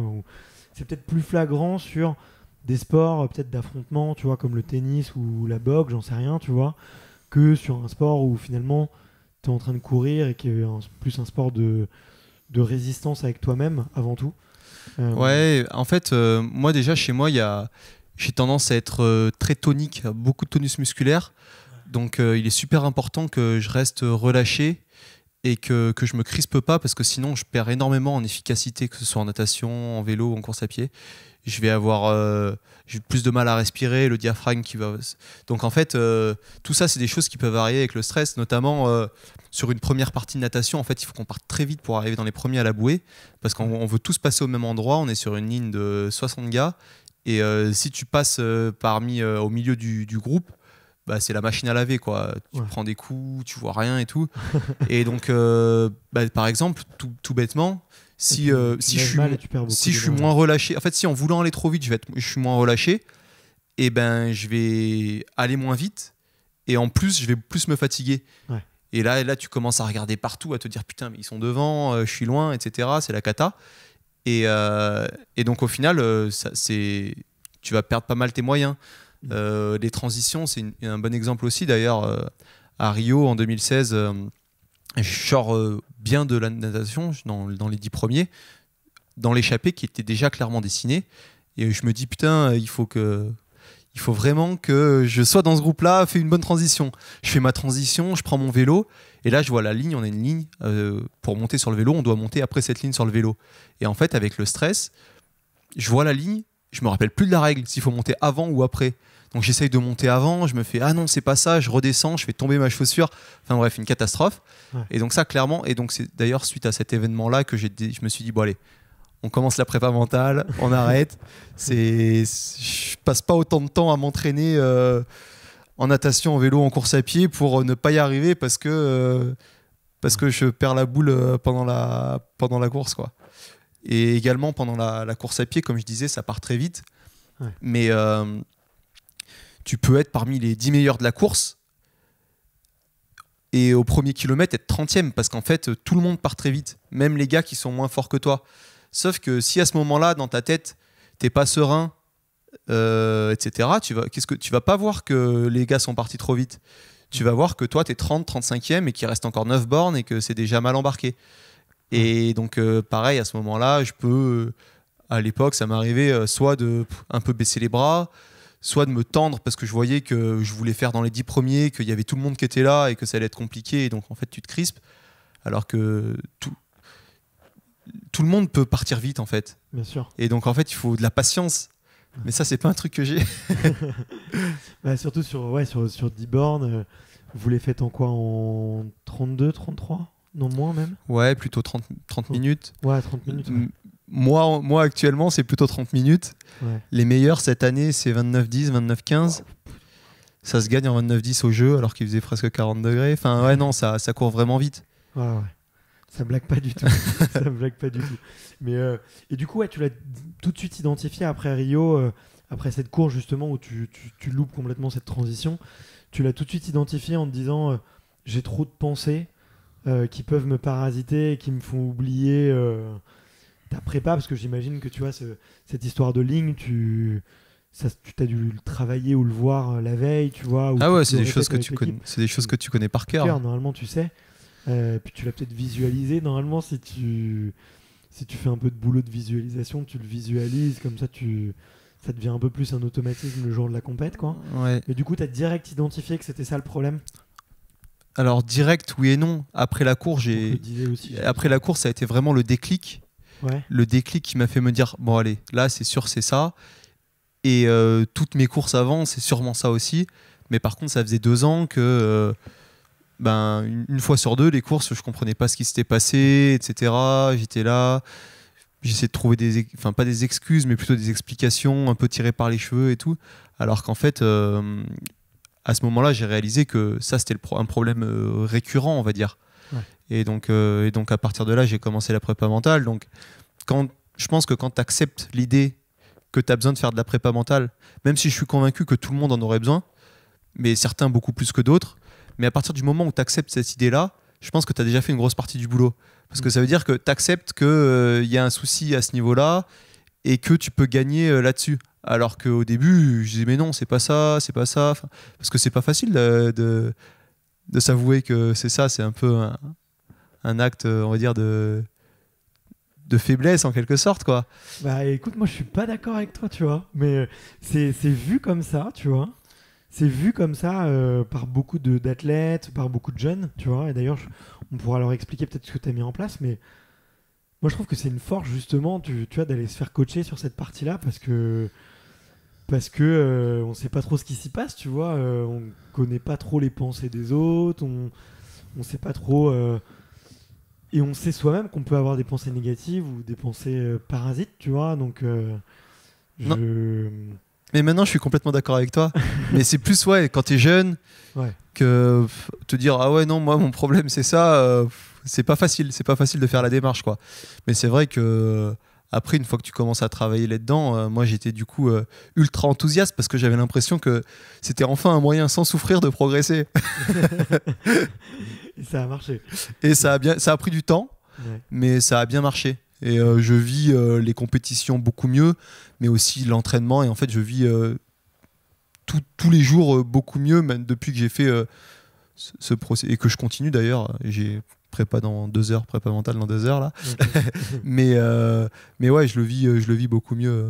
euh. maintenant. Trop cool. Bah, tu vois, il y a beaucoup de, jeunes qui sont dans les filières, tu vois, de, haut niveau, euh, euh, qui nous écoutent, qui écoutent un peu pour découvrir vos, parcours, pour découvrir un peu vos petits secrets aussi. est-ce que, est-ce que tu pourrais nous dire, toi, un peu les ce que tu as mis en place, tu vois, et qui a été vraiment. J'ai pas envie de dire les quick wins, tu vois, ou les, les, raccourcis, euh, mais en tout cas, ce qui a été vraiment efficace pour toi. Et peut-être, tu vois, un exercice que tu pourrais recommander à plein de jeunes, euh, justement, qui peuvent avoir un peu trop de pensées parasites, qui, peuvent, qui se sont reconnus un peu dans, dans ce que tu racontais, tu vois. Euh, si tu pouvais rentrer un peu dans le concret, ça serait, ça serait top, tu vois, pour, pour eux. Qu'est-ce que tu Qu'est-ce que tu pourrais nous dire? Euh, Déjà, je pense que il faut, il y a deux trois prérequis avant de commencer. C'est euh, est-ce que je, est-ce que je fais ça parce que j'en ai envie et que j'en ai besoin, ou est-ce que je le fais parce qu'on m'a dit que je devais le faire? Si je le fais parce qu'on m'a dit que je devais le faire, c'est déjà vachement moins efficace. il faut être convaincu qu'on en a besoin. Trouver quelqu'un en qui on a confiance, parce qu'en fait, euh, ça implique de, de se livrer pleinement et de vraiment dire tout ce qui nous passe par la tête, même les choses qui vont pas nous faire forcément passer pour une bonne personne, etc. Il faut c'est justement ça qui est important. Donc, les euh, mauvais côtés, les vices, euh, les pensées parasites, les doutes. Euh, exactement. la, façon de, penser qui va qui va te faire passer pour, pour quelqu'un d'autre, etc. Mais en fait, c'est ça les, le problème. Et on en a tous. Et on en a tous. C'est humain. Et, et je pense que moi, en tout cas, c'est beaucoup passé par la discussion plus que des exercices, etc. Même si euh, je faisais de la, il me faisait faire aussi de la relaxation, de la visualisation, de la sophro, etc. Mais euh, c'était beaucoup, beaucoup de discussions. Et en fait, euh, l'un des premiers trucs que j'ai mis en place et que je continue à faire, c'est qu'à chaque fois que j'ai un problème, ou que je suis énervé, je sais pas pourquoi, ou alors j'ai raté une course, j'arrive pas à savoir pourquoi, j'essaye de me poser la question à moi-même, ok, est-ce que tu as raté parce que ouais, tu avais une crampe parce que parce qu'on trouve toujours des petites excuses. Hmm. Et ça va être de dire euh, OK, est-ce que tu avais vraiment mal au ventre ou est-ce que tu avais vraiment une crampe? Ou alors, est-ce que euh, tu as paniqué parce que le gars il t'a doublé et que lui tu voulais pas qu'il te double, tu vois? En fait, c'est de, te poser la question à toi, sans en parler forcément, parce que c'est plus facile, et d'être, d'arriver à être 100% honnête avec toi-même. Parce que le jour où tu es 100% honnête avec toi-même, là tu vas commencer à essayer de trouver les bonnes solutions. Hmm. Parce que si tu dis ouais j'avais mal au ventre et tout, c'est pour ça que j'ai arrêté de courir et tout, alors qu'en fait tu as arrêté de courir parce que tu étais 15e et que tu voulais être 5e, hmm. et, eh ben, et eh ben tu vas essayer de soigner ton mal de ventre qui n'existe pas, et tu vas pas soigner le fait que tu as paniqué en regardant les autres. quoi. Et, euh, et, se poser la question, mais ça peut être euh, pourquoi, euh, pourquoi je suis tombé? Parce qu'il y avait une tache d'huile par terre ou parce que j'ai fait n'importe quoi en prenant mon virage? Et en hmm. fait, j'essaie de l'appliquer à tout ce que je fais maintenant en gros, à me poser la question, à essayer le plus possible d'être honnête avec moi-même. Et euh, des fois, au début, ça va te prendre une heure de, de te dire Ouais, non, c'est vrai, c'est ça. et puis maintenant, j'arrive à le faire assez vite et je pense que ça me fait gagner du temps et, et ça me fait être un peu plus juste dans mes ajustements, justement. Ok. Mais, euh, très cool, très très cool. Et je pense que c'est un, un, super conseil, tu vois, de qu'on peut avoir beaucoup chez les sportifs de haut niveau. Hein. Tu le vois souvent, on, est, les, sportifs, même de manière générale, dès que tu fais de la compète ou dès qu'il y a un challenge, on est très bon pour euh, se donner des, bonnes excuses ou pour, euh, pour euh, tu vois, se trouver, trouver des raisons, on va dire, à un échec ou, ou un résultat qui est moins bien que ce qu'on attend. Donc donc c'est top. Et il y a d'autres choses que tu fais, je sais pas, de la méditation ou peut-être de la visualisation justement avant les courses pour être encore plus euh, serein Il euh, y a, d'autres petits exercices que tu que as mis en place ou, ou c'est euh, essentiellement tu vois, du, travail justement où tu vas, tu vas te livrer avec ton prépa et, et, avancer là-dessus? Ouais, il y a aussi du travail un peu de respiration que je fais. Ok pour me permettre de me, de me détendre, de, de, faire justement baisser un peu le tonus musculaire. Ouais. Euh, notamment de la cohérence cardiaque. En fait, euh, ça, ça consiste tout simplement à respirer et inspirer et expirer sur un rythme bien précis et qui va te faire euh, te relâcher et du coup et du coup aussi mieux dormir, mieux récupérer. Donc ça, j'en fais pas mal. Et après, j'ai quelques petits, quelques petits exercices quand je me sens un peu stressé avant une course ou quoi. des méthodes, des méthodes toutes bêtes pour me recentrer un peu sur moi-même et me, me détendre par exemple, moi je sais que voilà, si euh, je sens que mes yeux ils commencent un peu à partir dans tous les sens avant la course, j'ai un peu mal à la tête, je, je suis pas centré sur moi-même, je vais euh, discrètement euh, serrer le poing bien fort en inspirant et puis le desserrer doucement et en fait ça, ça me permet de c'est la méthode de Jacobson quelque chose comme ça et euh, à, vérifier et ça me permet de, ouais, de, de, me détendre et de me reconcentrer sur mes sensations en fait.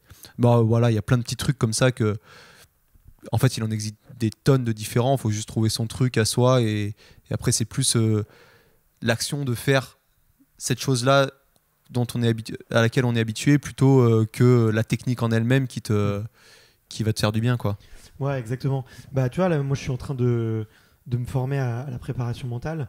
Euh, pas forcément pour devenir préparateur mental, parce que je pense que si je faisais ça à plein temps, euh, peut-être que je m'y perdrais. Peut-être pourquoi pas accompagner quelques athlètes pour, pour vraiment me mettre dedans. Mais un des trucs qu'on nous apprend beaucoup, c'est c'est qu'il existe des tonnes d'outils et, ce qui est compliqué en étant préparateur mental, c'est de passer du temps à essayer de trouver celui qui convient à l'athlète. Et il n'y a pas de méthode miracle qui marche avec tout le monde. Euh, il y a des, des, exercices qui reviennent souvent, tu vois, comme euh, effectivement la cohérence cardiaque. Euh, c'est génial, tu vois, comme exercice. C'est presque mathématique ou. Enfin, en tout cas, c'est hyper prédictible, quoi. Si tu le fais, c'est physique. Ça va ralentir ton, ton rythme cardiaque, ça va, ça va tout. Ça va vraiment te détendre. Mais sur les autres exos, il euh, n'y a rien qui est systématique. Quoi. Il faut toujours euh, essayer de chercher et, d'approfondir. Donc euh, ça confirme bien, bien ce que tu dis. Quoi. Ouais, et puis je pense que le plus important, c'est les discussions qui vont nous permettre de, de prendre conscience de, des choses, de qui on est, de relativiser aussi quand tu es, quand es un peu trop la tête dans le guidon. Et en fait, alors toutes les techniques sont importantes et intéressantes, mais le plus gros du travail, je pense, il est fait dans la discussion. Enfin, moi, en tout cas, c'est mon ressenti personnel. Que, et parce que des fois, en fait, euh, on va te poser une question, tu vas répondre quelque chose parce que c'est. Tu sais, euh, voilà, tu le sais, tu vas répondre. Mais le fait de répondre à cette question, tu mets des mots dessus et ça va te faire euh, prendre conscience de la chose en elle-même. Je sais pas si tu vois ce que je veux dire. bien sûr. Mais, mais je trouve que, en fait, mais ça, ça marche dans la vie de tous les jours. si tu es énervé envers quelqu'un, la meilleure chose, c'est d'aller lui en parler parce que en lui parlant, tu vas déjà comprendre toi pourquoi tu es énervé envers lui. Mm. Et puis, euh, ça va aussi te permettre de prendre du recul par rapport à ça. Et puis, euh, et puis voilà quoi. Ouais. De verbaliser, d'affronter un peu le. Ouais, je pense que c'est important de mettre des mots sur ses émotions. Ouais. Bah, c'est vrai que tu vois, quand tu. C'est vrai qu'une émotion ou une pensée, elle peut venir. Mais euh, on peut, tu vois, notamment si c'est une pensée négative, on peut avoir tendance à la, à la chasser et et même si elle revient, tu vois, en permanence, essayer de l'évacuer un peu, l'oublier et tout. Et le fait de s'arrêter de parler à quelqu'un pendant quelques minutes, au moins, tu vois, ça la. Ouais, ouais, tu vas. Ça, l'affiche, elle écrit. Des fois, tu es tendu toute la journée, tu sais pas pourquoi, et, et quand t'en parles, tu dis Ah, mais c'est ça Mais c'est con C'est bon, c'est sorti maintenant. Ouais, c'est ça. Très cool. Euh, on a beaucoup parlé de, de l'aspect euh, mental là, euh, mais s'il y a bien un truc sur lequel les triathlètes vous, vous êtes reconnu, c'est sur l'organisation et, et, la planification et tout, l'entraînement physique, parce que qui dit trois sports dit trois fois plus d'entraînement. Euh, à quoi ça ressemble aujourd'hui une, une, semaine euh, avec euh, Dorian, semaine en, en termes d'entraînement Comment est-ce que tu planifies Donc tu passes par un coach, mais comment est-ce qu'il travaille? Est-ce que aussi tu as des coachs par discipline, tu vois? Je serais curieux de savoir un peu euh, tu vois, pour un, triathlète pro, euh, justement, euh, comment, comment, comment est-ce que s'articule l'organisation du programme et, et le, le, les semaines type, un peu le volume partons comme ça. Tu vois, sur ma question qui est hyper large, mais vas-y, attaque le sujet et puis ça viendra de, doucement. Quoi. Alors, moi, pour ma part, j'ai un seul coach pour les trois sports, plus un préparateur physique. Ok. Parce que c'est quand même très spécifique. Et euh, c'est beaucoup le cas. Il y a beaucoup de, beaucoup de gens qui ont que euh, un coach, entre guillemets, parce qu'en en fait, tout simplement, euh, c'est bien de, s'entraîner bien en natation, en vélo, en course à pied, mais il faut que ce soit coordonné. Si tu as le coach qui te met une grosse séance en natation, le coach d'athlète qui te met une grosse séance en course à pied le même jour, par exemple, bah, potentiellement ça va pas matcher avec ton programme. Donc le fait d'avoir qu'un seul coach, ça facilite grandement le, la répartition des charges d'entraînement en fait. Euh, en termes de chiffres. Il y, a, d'autres triathlètes euh, pros qui vont prendre un spécialiste sur chaque discipline et peut-être euh, quelqu'un qui va coordonner ou qui va faire un peu parler tout le monde en. Sûrement, sûrement, il y en a qui ont un coach euh, plus en natation et qui. Après, c'est franchement sur les, les athlètes internationaux que, que, je connais et que je côtoie, 4, je dirais que 95% a seulement un coach. Pour, pour la raison que, que j'ai évoquée, quoi. Sinon, c'est une galère. Et le coach, il bosse avec toi ou il bosse avec d'autres athlètes, du coup? Donc, nous, on est 10 dans le groupe, 12, 12, une douzaine dans le groupe. Et un coach qui est dédié pour les. Et le coach, par contre, il est là, on l'a H24. Donc, c'est énormément de boulot pour le coach parce que c'est pas de pas de jour férié, pas de week-end, euh, peu de vacances, etc. En fait, il vit comme nous, quoi. Donc, ah euh, il n'y a pas de day off dans une, dans une semaine. Bien sûr. Euh, après, voilà, moi, ce que j'allais dire, c'est que en gros, je vais nager 5-6 fois dans la semaine. Je vais rouler euh, allez, 6-7 fois. Et pareil, je vais courir euh, autour de 7 fois en moyenne, des fois un peu moins, des fois un peu plus. Plus une à deux séances de prépa physique, plutôt deux séances de prépa physique. Ça peut aller du renfort à la muscu, en fonction des cycles d'entraînement. Donc en gros, ça va représenter une trentaine, une trentaine d'heures dans la semaine. ça peut monter à 35. Et puis euh, ça peut descendre un petit peu, notamment les semaines de course et tout. Mais... Un costaud, parce que moi sur ma prépa Ironman, j'étais. Une plus grosse semaine, je crois que j'étais à 17h30, 18h déjà. Ouais, après nous, c'est notre métier. on n'a pas de boulot à côté, je pense que ça aide bien. Ah, c'est clair, c'est clair. Pour euh, tu vois, euh, moi, bah, je, du coup, je suis entrepreneur, tu vois, quand tu, tu te prends toutes les portes, à tous les trucs à, à régler, les problèmes de de management, de recrutement, de vente avec tes clients. Euh, ouais, ça, ça mmh, Quand t'es rincé, que tu veux aller nager le soir, j'imagine que c'est pas facile. C'est pas facile, c'est pas facile. Et euh, nous, du coup, tu, je suis comme toi, je le fais le matin parce que sinon, euh, ouais. j'ai pas la tête à ça, quoi. Mais nous, on... c'est marrant parce que dès que dès qu'on a un truc à faire, les triathlètes que je connais, mais je pense c'est beaucoup, genre aller faire les courses ou on doit aller quelque part pour acheter un truc ou peu importe ce que c'est on a l'impression que ça nous prend une énergie folle et qu'on n'arrive pas à s'entraîner après. Parce qu'on a tellement l'habitude d'être dans, un schéma, en fait, euh, entraînement, nourriture, dodo, que dès qu'on fait un petit truc à côté, euh, on a l'impression que ça devient compliqué. Quoi. Les trucs à côté, c'est aussi pas mal de récupération, euh, bah, les séances de prépa mentale aussi, mais la récupération, les kinés, les bains froids, tout, ce qui tourne. voilà. En On fait, fait beaucoup de ça? Ouais, moi j'essaye d'aller une à deux fois chez le kiné par semaine. En prévention, en fait. On a tous des problèmes un peu récurrents euh, parce que bah, s'entraîner. Ouais, voilà, c'est ça. C'est pas forcément, euh, c'est pas forcément euh, l'idéal pour le corps quand même de faire autant. Et, et puis après, ouais, la récup, j'essaye. J'utilise des bottes de compression chez moi, ça, marche bien, j'aime bien. Puis après, bain froid, etc. Enfin, ça dépend aussi un peu des périodes mais, mais bon, c'est important de, de, soigner ça.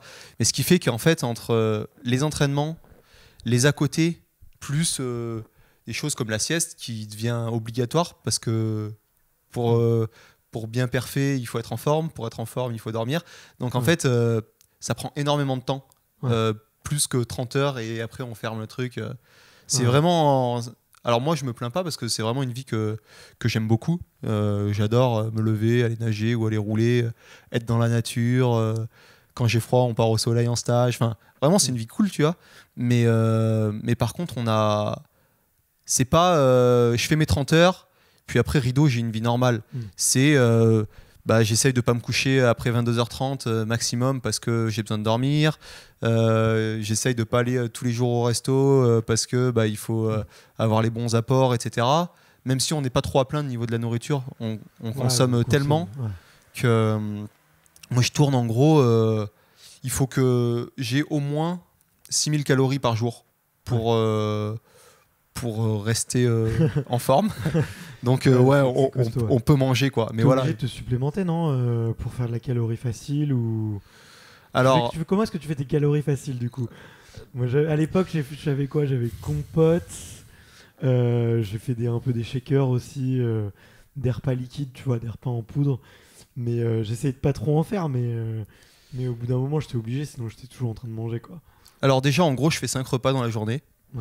Euh, ça va être euh, un petit déjeuner quand je me, quand je me lève, vers 10h, euh, 10h30, une collation, mais qui ressemble plus à un repas qu'à une collation. Euh, vers midi, 1h, en fonction des entraînements, je mange et rebelote à 16h et 19h. Donc déjà, avec 5 repas, tu arrives à faire pas mal de calories. Et après, le but, c'est de beaucoup s'alimenter pendant l'entraînement. Et donc là, ça peut un peu correspondre à ce que tu dis, des calories faciles. Ça va être soit de la boisson d'effort, des gels, des gels. moi, j'aime bien la crème de marron, tu vois, parce que c'est bon et c'est bien chargé en sucre. Euh, des bars, euh, un peu tout ce qui te passe par, euh, par la main. L'important, c'est en fait d'avoir un apport glucidique. À l'entraînement, c'est quasiment que ça. Et déjà, si tu arrives à t'alimenter pendant l'entraînement et que tu creuses pas ta dette, mm. et eh ben, tu as moins besoin d'en faire des caisses après. Et, et ça te ça t'épuise beaucoup moins. Donc c'est vraiment le en gros, euh, je sais à peu près combien je vais euh, consommer sur une heure d'effort à telle intensité. En gros, j'ai un, tableau pour chaque intensité. Et en fonction de la séance, je sais du coup plus ou moins combien de grammes de glucides je dois ingurgiter dans la séance. Quoi. Ok. Ah ouais, d'accord. Ouais. Tu, vas, tu vas à ce niveau-là. Donc tu fais matcher. Euh, tu fais matcher en gros ton ouais l'intensité de la séance avec un nombre de calories à avoir. Ouais. Ouais, ah ouais. Et donc en gros, ça peut aller de 50-60 grammes par heure sur une séance facile à 80-90 grammes par heure sur une séance dure et longue, etc. Et donc, euh, je sais pas si j'ai déjà amusé euh, sur les gels ou sur euh, tout ce que tu manges et bois à, à, compter. Quand tu veux être à 80 grammes par heure, c'est pas facile. Hein. Ah, c'est chaud. Il faut manger du haribo. ah, c'est clair, c'est clair. Non, et puis en plus, moi je suis pas très sucré, tu vois. Donc tout ce qui était boisson, boisson de l'effort, gel, j'avais vraiment du mal. Euh, donc j'allais euh, un peu plus sur des vraiment des repas liquides ou ce genre de choses, mais c'est pas assez euh, riche en glucides quoi. ouais, c'est ça. Ouais, moi pareil. Au début j'avais un peu de mal. Maintenant avec l'habitude et tout, ça va mieux. Le problème, c'est que ça, ça a vite tendance à te pourrir les dents, en fait, parce que si tu passes 5 heures à t'entraîner et que pendant 5 heures tu bouffes du sucre, bah, les dents, elles aiment pas trop. du coup, faut passer un peu chez le dentiste et tout. Mais, euh, mais ouais, c'est une habitude à prendre en fait. Et après, tu vois, il y en a qui vont prendre que des gels, ça les dérange pas. Moi, je vais prendre de, la crème de marron et des bananes. Puis il y en a, ils vont prendre des gâteaux euh, Belvita. Enfin, ouais. Puis bon, de toute façon, euh, pendant trois, trois, mois, tu vas bouffer un truc qui va bien passer. Puis au bout d'un moment, t'en peux plus en fait. Et tu changes. tu changes et tu, ouais, voilà. C'est comme dans la boisson, c'est comme dans les bidons j'essaie d'alterner entre de la boisson pour le vélo, euh, ça peut être du sirop, du jus de raisin ou quoi, l'entraînement, natation, enfin. Parce que sinon, c'est trop quoi. Tu te lasses. Ouais, ouais. Il y, en a qui essayent de saler un peu justement leur, leur boisson ou, ou leur. Euh, leur euh, la bouffe, quoi, tu vois, parce qu'ils ils en avaient marre du sucre. Je suis curieux parce que tu vois, moi, justement, j'ai fait plusieurs fois, j'ai fait des pas des overdoses de sucre, mais je sentais qu'au niveau de l'estomac, ça passait plus quoi. Euh, même au niveau de la bouche, le goût. ouais, euh, alors euh, honnêtement, bah, déjà quand il fait chaud, on essaie de beaucoup saler ce qu'on mange, mais les plats, on va dire les, plats chauds quoi. à l'entraînement, ça arrive, ça, j'ai déjà entendu. Moi, les gens que je côtoie, après, on fait du court distance, donc globalement, c'est quand même des entraînements un peu moins longs, etc. Euh, faudrait demander plus à des gars qui font de l'Ironman, qui vont s'en rouler 6-7 heures. Euh, parce que ça, ça j'avais des collègues qui faisaient ça et qui faisaient même des, petits sandwichs, des trucs parce qu'ils en pouvaient plus, quoi. Et ça se comprend. Nous, ça va, vu que c'est 2 heures et tout, c'est, ça revient tous les jours, mais par contre, euh, sur la sortie, ça fait pas manger 22 gels, quoi. Donc ça va. Ouais, ouais, c'est vrai que c'est plus, c'est plus correct, c'est plus convenable. Mais ok, bah, hyper intéressant. en plus, c'est des trucs tu vois, euh, je l'ai un peu, enfin, je l'ai nommé, je l'ai théorisé, tout, ce qu'on vient de dire, tu vois. J'ai appelé ça l'entraînement invisible. Tu vois, c'est vraiment tout ce que tu fais en dehors de, la piste, en dehors de ton temps d'entraînement, qui fait partie de la performance, que euh, la majorité des gens qui connaissent pas le haut niveau ou qui connaissent pas le sport de haut niveau euh, ne connaissent pas, ne voient pas. Ça peut être effectivement le choix de ton matériel, aller chez ton kiné, t'informer sur les nouvelles bouffes euh, parce que justement tu peux plus boire du jus de raisin et que tu dois en trouver un nouveau. Et tous ces trucs-là, bah, c'est euh, vraiment ce qui. C'est T'es obligé de passer par là, quoi. T'es obligé de passer par là. Et je trouve dans le triathlon, ça passe à son paroxysme parce que il euh, y a le matériel sur trois sports, t'as la technique sur trois sports, t'as le repos sur trois sports aussi. Donc c'est décuplé, c'est décuplé à l'infini, quoi. Ouais, c'est clair. Et en fait, je pense qu'il y a une partie qui est, euh, on va dire, un peu compliqué, c'est que dans ce domaine-là, au sens large du terme, comme d'ailleurs dans le domaine de l'entraînement, des, des, choix, tu peux en faire mais des milliers. Et tu peux pas tous les, tu peux pas tout faire, tu peux pas tous les faire. Et euh, des fois, il n'y a pas un choix qui est meilleur qu'un autre, mais c'est juste que il bah, faut, faut, le faire. Et en gros, il faut réussir à, à balayer suffisamment large sans trop s'éparpiller non plus et à prendre des parties pris à exploiter, à faire les bons choix, etc. Parce qu'en fait, ouais, tu peux pas, tu peux pas te dire, euh, je vais faire, euh, je vais, en entraînement, je vais faire ça, plus ça, plus ça, plus ça. Non, il faut choisir. Et pareil à, côté, tu, tu peux pas mettre autant d'énergie dans tous les domaines. Et donc, euh, et donc, faut choisir, faut le faire par période, etc.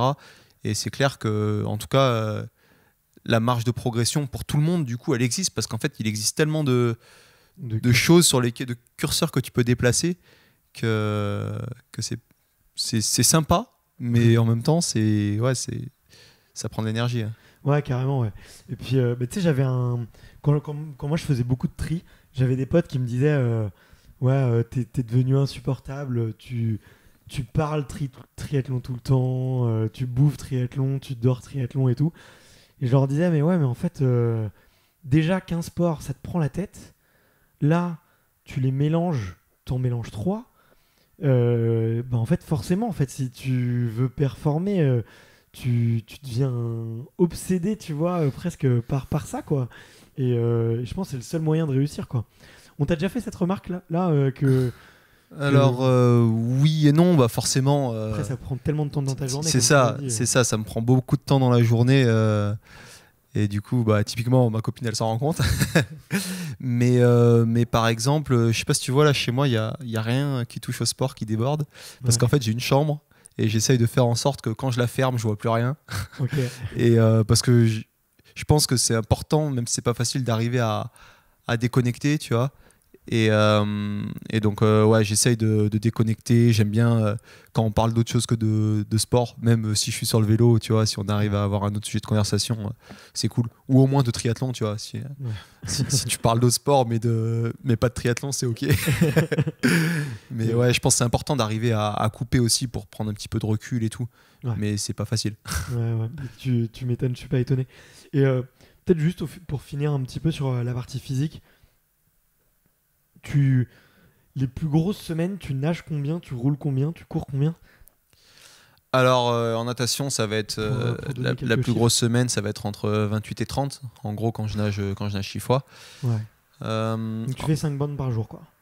Ouais, grosso modo. Ouais, grosse maille entre 4,5 et 5, c'est la, c'est la norme, quoi. à vélo, à vélo, c'est un peu difficile d'estimer parce qu'ici il y a pas mal de montagnes, donc on, donc on, on va moins vite. Mm. Mais euh, ça peut monter à, on va dire, aller à, à 16, 16, 17 heures de vélo.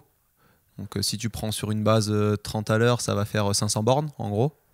déjà c'est costaud. et, et, à pied, cette année, ça fait deux ans que, que je borne pas énormément. Mes plus grosses semaines, ça va être 80, 90. Je suis déjà monté plus haut, mais en tapant sur d'autres sports. Moi j'ai des potes qui font prépa marathon déjà euh, qui vont passer sous les, les 3 heures, les 2h50, euh, ils, sont, ils sont à 80, 80, ouais, 90, ouais, 90 bornes. Donc tu as à peu près euh, ouais, autant de charges que. ouais, ouais, bah, en courant tous les jours. Mm. C'est le, le, tarif. Après, voilà, comme je te dis, moi, en ce moment, je cours pas énormément. Et le 80-90, j'y ai pas été souvent cette année, d'autant plus que j'ai été blessé. Donc, des fois, ça va être des semaines à 60. Hein. Là, je t'ai donné par sport les, les, grosses semaines que je vais faire dans une année. Mais je dis pas que c'est ma moyenne. Ma moyenne, je pense, ça va plutôt être, euh, je sais pas, si je dois donner un truc, 12-13 euh, heures à vélo, euh, en gros 70 à 60-70 à pied, hors blessure, on va dire, et puis 25 en nat, tu vois. Ouais, déjà, c'est pas mal. Mais on, est, voilà, on essaye d'être assez régulier quand même. Ok. Et comment est-ce que tu planifies un peu ta saison justement par rapport à ton, ton entraînement et ton entraîneur? Est-ce que vous allez définir, toi tu vas définir, on va dire, tes gros objectifs en termes de course et tu vas te dire, ok, bah, mes euh, trois grosses courses cette année, ça va être ça, ça et ça, là où, là où tu as envie de performer. Et euh, du coup, lui, il va, euh, on va dire, essayer de faire des, périodes un peu plus où il va mettre un peu plus de volume et ralentir un peu au moment de ralentir un peu au moment de ces justement de ces échéances là comment, comment est-ce que ça s'articule un peu Est-ce qu'il y a une grosse, grosse période où tu mets beaucoup de foncier et d'autres où tu vas un peu lever le pied? Comment, comment, ça, se, comment ça se structure? Alors, déjà, oui, il y a pas mal de variations dans une année. Ouais. Euh, toutes les décisions, je vais les faire un peu en, discussion avec mon coach, que ce soit le choix des courses ou euh, le choix de la préparation. Euh, parce que bon, c'est important qu'on soit tous les deux d'avis. Puis même pour le choix des courses, lui, il peut voir des choses que moi je vois pas forcément, avoir une vision un peu plus d'ensemble, on va dire. Donc je pense que c'est important qu'on soit tous les deux d'accord, même si des fois on a du mal à tomber d'accord. on, globalement, on, on prend la décision une fois qu'on a fini par être à peu près d'accord. Et euh, globalement, euh, l'hiver, je vais euh, déjà me, remettre à l'entraînement progressivement. Ça va être une base foncière sans trop d'intensité, mais sans chercher à faire des volumes débiles non plus, en partant du principe que la saison elle est longue et que je vais pas essayer de mettre toutes mes balles en novembre-décembre alors qu'il faut que je sois bon en octobre par exemple. Mmh. Donc vraiment c'est voilà m'entraîner, créer une, une base euh, foncière sur laquelle derrière je vais pouvoir travailler en étant sûr de ne pas me blesser, en étant sûr d'avoir euh, les prérequis nécessaires. Mais euh, on va dire que, alors il y a déjà du développement, mais, mais on met pas tout, tout l'hiver quoi, à faire des intensités, à faire des bornes et tout. Et après, quand on s'approche de la saison, on va augmenter les intensités quand on s'approche des premières courses. Donc petit à petit jusqu'à arriver à 2-3 semaines et faire des intensités courses en fait, pour, mmh. pour se rappeler ce qu'il en est. Mais euh, les intensités courses, ça va pas être ma grosse euh, dominante dans l'année. C'est vraiment euh, histoire de, de me rappeler avant les courses, de revenir sur les sensations. Mais moi, je vais pas mal chercher, actuellement en tout cas, à développer les aspects plutôt endurance, seuil, tu vois, seuil 1, etc. Enfin, les trucs dont, dont, moi j'ai le plus besoin, je pense. Et, et donc, ça, ça c'est sur ces intensités-là, on va dire des intensités moyennes sur lesquelles je vais passer le plus de temps. Et après, ben, en fait, euh, on essaye de recaler pendant la saison quand on voit qu'on a 4-5 semaines. Ben, c'est l'occasion de replacer un bloc d'entraînement, justement. Et voilà, de jongler entre les états de forme pour enchaîner une, deux, trois courses, des, des moments où tu te réentraînes pour, euh, parce que tu as besoin pour finir la saison de, de remettre des blocs d'entraînement. Et le tout couplé avec l'altitude, euh, cette année en tout cas, on met ça en place. Ça faisait longtemps que j'étais pas allé en altitude. Là, j'en ai fait trois stages. Et, euh, Vous allez où À fond romeu On va à fond romeu, ouais. On va à fond romeu et on dort dans des chambres euh, hypoxiques en plus. Ah ouais. Donc, euh, donc voilà. Et. Vas-y, continue. et ouais, non, et du coup, c'est encore différent parce qu'il faut tu peux pas en faire autant, tu peux pas aller aussi vite. Donc gérer ça pour bien travailler, mais sans être cramé non plus, pour être en forme à tel jour après la redescente ou tel jour après la redescente en fonction de ce qu'on sait qui marche pour nous. Donc euh, ouais, ça fait pas mal de, de réflexions et moi, je, je, donne mes envies, mes idées, mes sensations. Après, la grosse base euh, de construction, euh, c'est le coach qui s'en occupe. Ouais, ouais tu es obligé de déléguer ça parce que sinon, tu t'y perds quoi.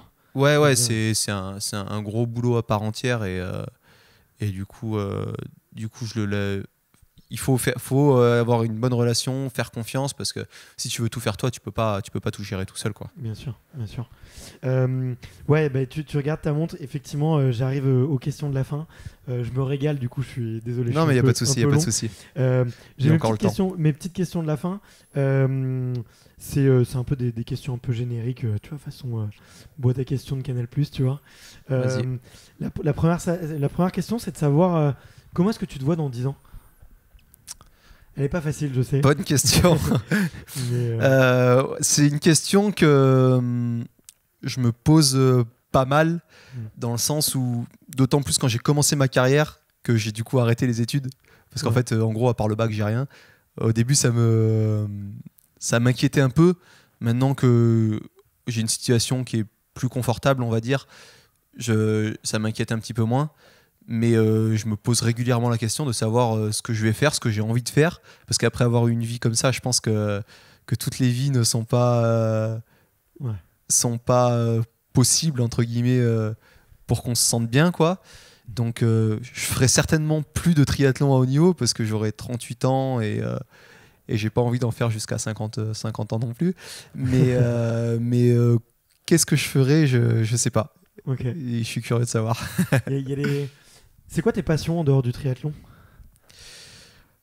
Ça part, euh, ça part dans tous les sens. C'est beaucoup de passion euh, actuellement liée au sport. Ouais. Euh, J'adore aller en montagne. J'aimerais bien avoir le temps pour, pour faire plus de ski, de ski de rando. J'en fais pas encore, mais j'ai envie de commencer sans avoir peur de me blesser, par exemple. Pareil, j'aimerais bien avoir le temps pour faire un peu d'alpinisme et tout. Enfin, il y a plein de trucs comme ça. C'est beaucoup lié au sport, mais en fait, après ma, après ma carrière, j'aimerais bien euh, profiter, on va dire, de mon état de forme pour me faire plaisir euh, sur les trucs que je peux pas faire maintenant et qui me font envie depuis toujours, quoi. Ouais. Et ça a beaucoup attrait avec, euh, avec la nature et tout. Ok. Donc euh, quelques glaciers, peut-être, je sais pas, un- une traversée d'un continent à vélo, de ce genre de choses ou- Ouais, c'est ça, ouais, quelques, quelques sommets, un peu d'altitude. euh, Ok. et puis voir des. En fait, moi, ce que j'adore dans la, la nature et la montagne euh, en particulier, même si euh, j'aime beaucoup euh, la côte atlantique et tout aussi, c'est c'est les, les paysages, paysages naturels. Je trouve qu'il n'y a rien de plus beau, quoi. Ouais. Donc, si je peux, si je peux en profiter, ce serait cool. Ça marche. C'est qui l'athlète que tu as rencontré et que, qui t'a le plus impressionné? Bonne question. J'ai eu la chance de rencontrer beaucoup d'athlètes. Ouais. Et euh, en fait, euh, franchement, j'ai pas de nom à citer parce que chaque sport a ses spécificités et, euh, et chaque sport, chaque sportif de haut niveau dans un sport qui n'est pas le tien, tu te dis mais comment il peut faire ça quoi? Ouais. Euh, Comment euh, un nageur d'eau libre il peut nager aussi longtemps, aussi vite, etc comment euh, un sprinter il est capable euh, d'avoir des qualités pour aller euh, aussi rapidement, pour être aussi explosif. Enfin voilà, ça peut être. Enfin, et là j'ai cité deux sports, mais tous les sports ont. en fait, Bien sûr. moi je trouve que tous les sports sont impressionnants quand tu regardes la spécificité de leur sport. c'est, ça paraît toujours un peu inhumain, quoi. Ouais, bien sûr, bien sûr, c'est clair. Est-ce que si tu pouvais, tu vas revenir en arrière et donner euh, un conseil au, au jeune d'Orient qui a 18 ans, euh, qui du coup euh, est pas, pas forcément, qui a pas encore commencé les peut-être les circuits mondiaux sur triathlon, et que tu pouvais te donner un conseil à ce moment-là, qu'est-ce que tu aurais envie de te dire? De, de prendre mon temps, ouais, d'essayer de faire les choses dans l'ordre, quoi.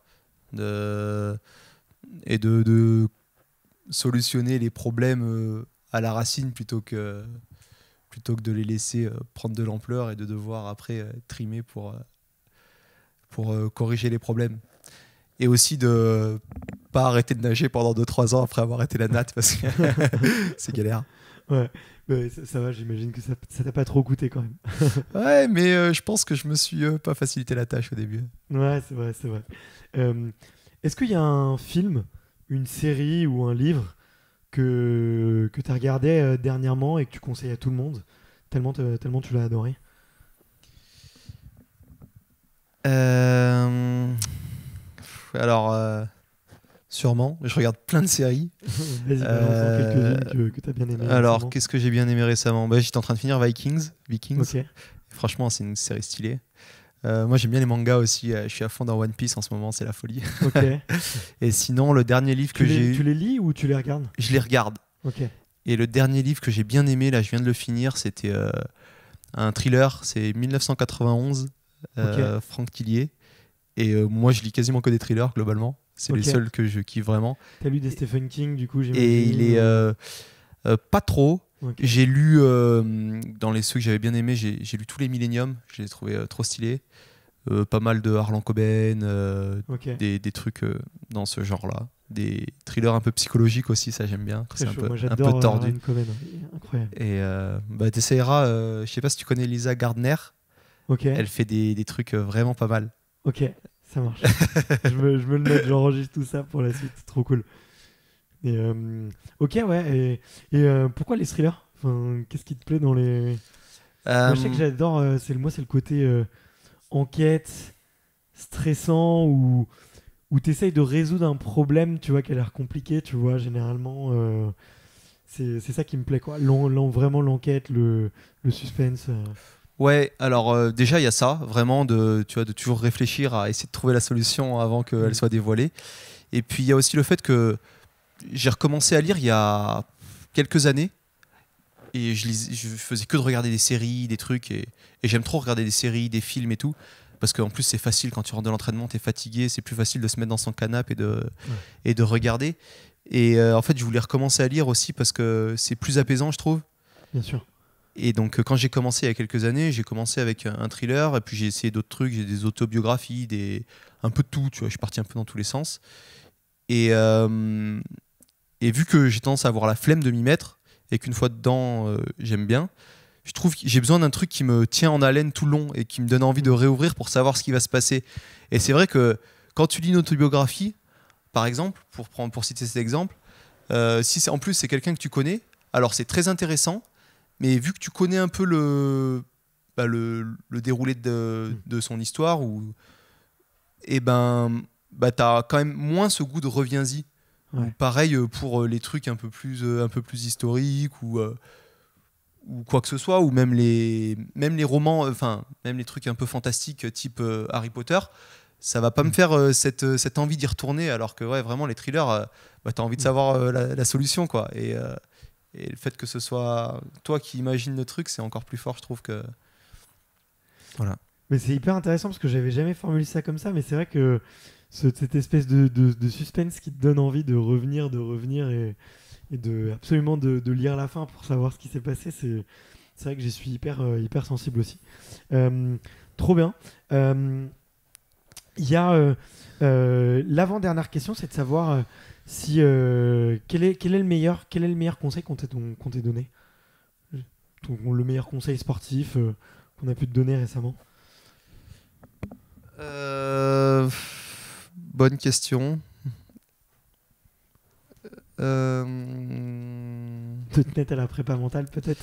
Ouais, ouais, c'est clair que bah, ça, c'était pas dernièrement, mais du coup, euh, quand le prépa mental, il m'a fait euh, travailler sur euh, qu'est-ce que c'est la vérité au fond, Ouais. c'était un bon, un bon truc. Et sinon, c'est avant la course euh, à Munich, le coach il m'a envoyé et, oublie pas que t'es jamais aussi fort que quand t'es relâché. Et euh, ça, c'est un truc euh, que j'essaye moi-même de me dire très souvent parce que je sais que c'est ce qui me manque quoi. Ok. Bah, trop bien, trop trop bien. Merci, merci de te livrer là-dessus. La toute dernière question, c'est un peu comme un passage de flambeau olympique, mais c'est un passage de micro. C'est, ça serait qui les deux extraterriens, un homme et une femme, que tu aimerais bien écouter justement sur ce format pour parler un peu de prépa mentale, euh, connaître un peu plus euh, leur routine d'entraînement et, leur parcours. Qui, ou, quelles sont les deux personnes que tu me, que tu me recommandes de- d'aller interviewer? Une athlète et un athlète euh, pour, euh, pour respecter un peu la parité. Ah, t'aurais pu me prévenir avant que je Je, je fais toujours un Que- peu de que- surprise parce que sinon, euh, sinon c'est trop facile. que j'anticipe. Euh, alors, sinon, on- c'est c'est En- juste deux noms comme Mm. ça et puis tu pourras me dire en dehors. Mais en vrai, j'aimerais bien entendre sur ces questions-là parce que ça m'intrigue beaucoup les les cyclistes qui font le, le Tour de France. J'en ai pas rencontré des masses. ok. donc j'en connais aucun personnellement, mais euh, typiquement, euh, bon, parce que je pense à lui, euh, Julien Alaphilippe, tu vois, mais peut-être même plutôt un gars qui joue le général, Ouais. comme David Godu cette année par exemple, parce que parce qu'en fait moi ça me perturbe de savoir comment il se prépare pour être pour être bon sur trois semaines d'affilée. Ouais. En gros, pour moi, trois semaines, c'est pas une course, c'est un stage. tu vois et, euh, et du coup, j'aimerais bien savoir ce que c'est la préparation et, euh, et l'état de récupération et tout, et, et comment ils, ils font, parce que en fait, tu peux pas te permettre d'avoir de trous si tu veux gagner le général ou faire podium au général. Ouais. Et, euh, et c'est peu commun dans le sport. Mm. La plupart des sports, ça se joue sur un jour, deux jours maximum, quoi. Ah ouais, c'est clair. Donc ouais, ça, ça dans un premier temps. Et après, euh, après, alors pour un, on va choisir un autre sport que je connais pas trop. Euh, Et une femme pour euh, respecter la parité. une femme. Si t'as. Euh, bah écoute, il y a un sport qu'on voit pas mal à Munich en ce moment, c'est l'escalade. Ouais. Et, et, pour en avoir parlé un petit peu avec quelques grimpeurs et grimpeuses, parce qu'il y a l'équipe de France en plus qui est pas loin de, de chez toi. Ouais, après moi je les connais, je les connais un peu par, par l'intermédiaire de l'armée. Ok. J'ai fait un peu de, des, des regroupements avec, euh, par exemple, Manu Cornu, euh, Julia Chanourdi et tout. Et, euh, et euh, c'est un peu particulier leur truc parce que c'est un combiné et euh, je crois que ça les perturbe un peu dans leur préparation. ouais. Et euh, ils sont tous un peu, ils ont tous un peu leur spécificité et, leur façon d'approcher l'escalade. Et du coup, je pense que ça peut être un, sujet intéressant aussi. Bah carrément, super bonne idée. Écoute, je vais essayer d'aller voir Julia. ça pourrait être top. Non, en plus, elle a sorti un film là qui est passé à Montagne en Seine qui est vraiment pas mal. J'ai bien aimé. Et, et, qui est hyper intéressant et notamment on voit un peu le, la relation euh, avec son père, tu vois, qui la coach. Euh, euh, et, ce que je trouve beau dans l'escalade, c'est aussi la relation à l'échec, tu vois. C'est que tu peux être amené à grimper une voie 10 fois, 15 fois, 20 fois échouer et il faut être obligé de s'obstiner dessus pour, pour y arriver, c'est un peu décourageant. Et du coup, enfin moi je connais pas, pas assez hein, pour en parler, mais j'ai l'impression que du coup la, la compétition, ça va un peu à, l'encontre de l'esprit de base justement, de c'est ça, de travailler une voie longtemps et tout. Comme quand tu regardes des, reportages ou tu écoutes des podcasts sur des gars qui ont fait des grandes voix, qui ont ouvert. Euh, je sais pas si t'as vu le film sur Netflix, euh, comment ça s'appelle? T'as Free Solo. T'as Free Solo et t'as The Dawn Wall. The Dawn Wall, ouais. Où ils en parlent et tu vois, genre, euh, c'est tout l'opposé de ce qu'ils font en compétition, quoi. Ouais, ouais. Donc ça doit être assez, assez perturbant. C'est clair, c'est clair. Et deux films qu'il faut absolument voir quand on est fan de sport, qu'on aime l'escalade ou pas. Ouais, ouais, c'est. Faut le voir. Netflix, ils sont très très bons pour faire euh, des trucs qui donnent envie. Euh. Mais à la base, c'est pas du tout. Là, c'est Ouais, ouais. Hein, là, c'est clair, c'est clair. Mais. Euh, mais ils ont, ils ont eu le flair de les Ils ont eu le flair de c'est clair. Mais ouais, super, super cool. Bah écoute, merci pour toutes ces recos. merci pour cette heure et demie qu'on a passé ensemble. C'était, c'était incroyable. Franchement, tu as donné plein de, de, conseils, de petits tips de, de, choses qu'on voit pas, tu vois, quand on, quand on regarde les réseaux sociaux ou quand on regarde, euh, on regarde une course. Donc c'était vraiment chouette. Merci euh, Dorian pour Avec euh, plaisir. C'était cool de pouvoir parler de tout ça. Ouais. Je sais qu'il y a beaucoup beaucoup de triathlètes qui écoutent, donc ça va. Je sais que ça va, ça va beaucoup plaire.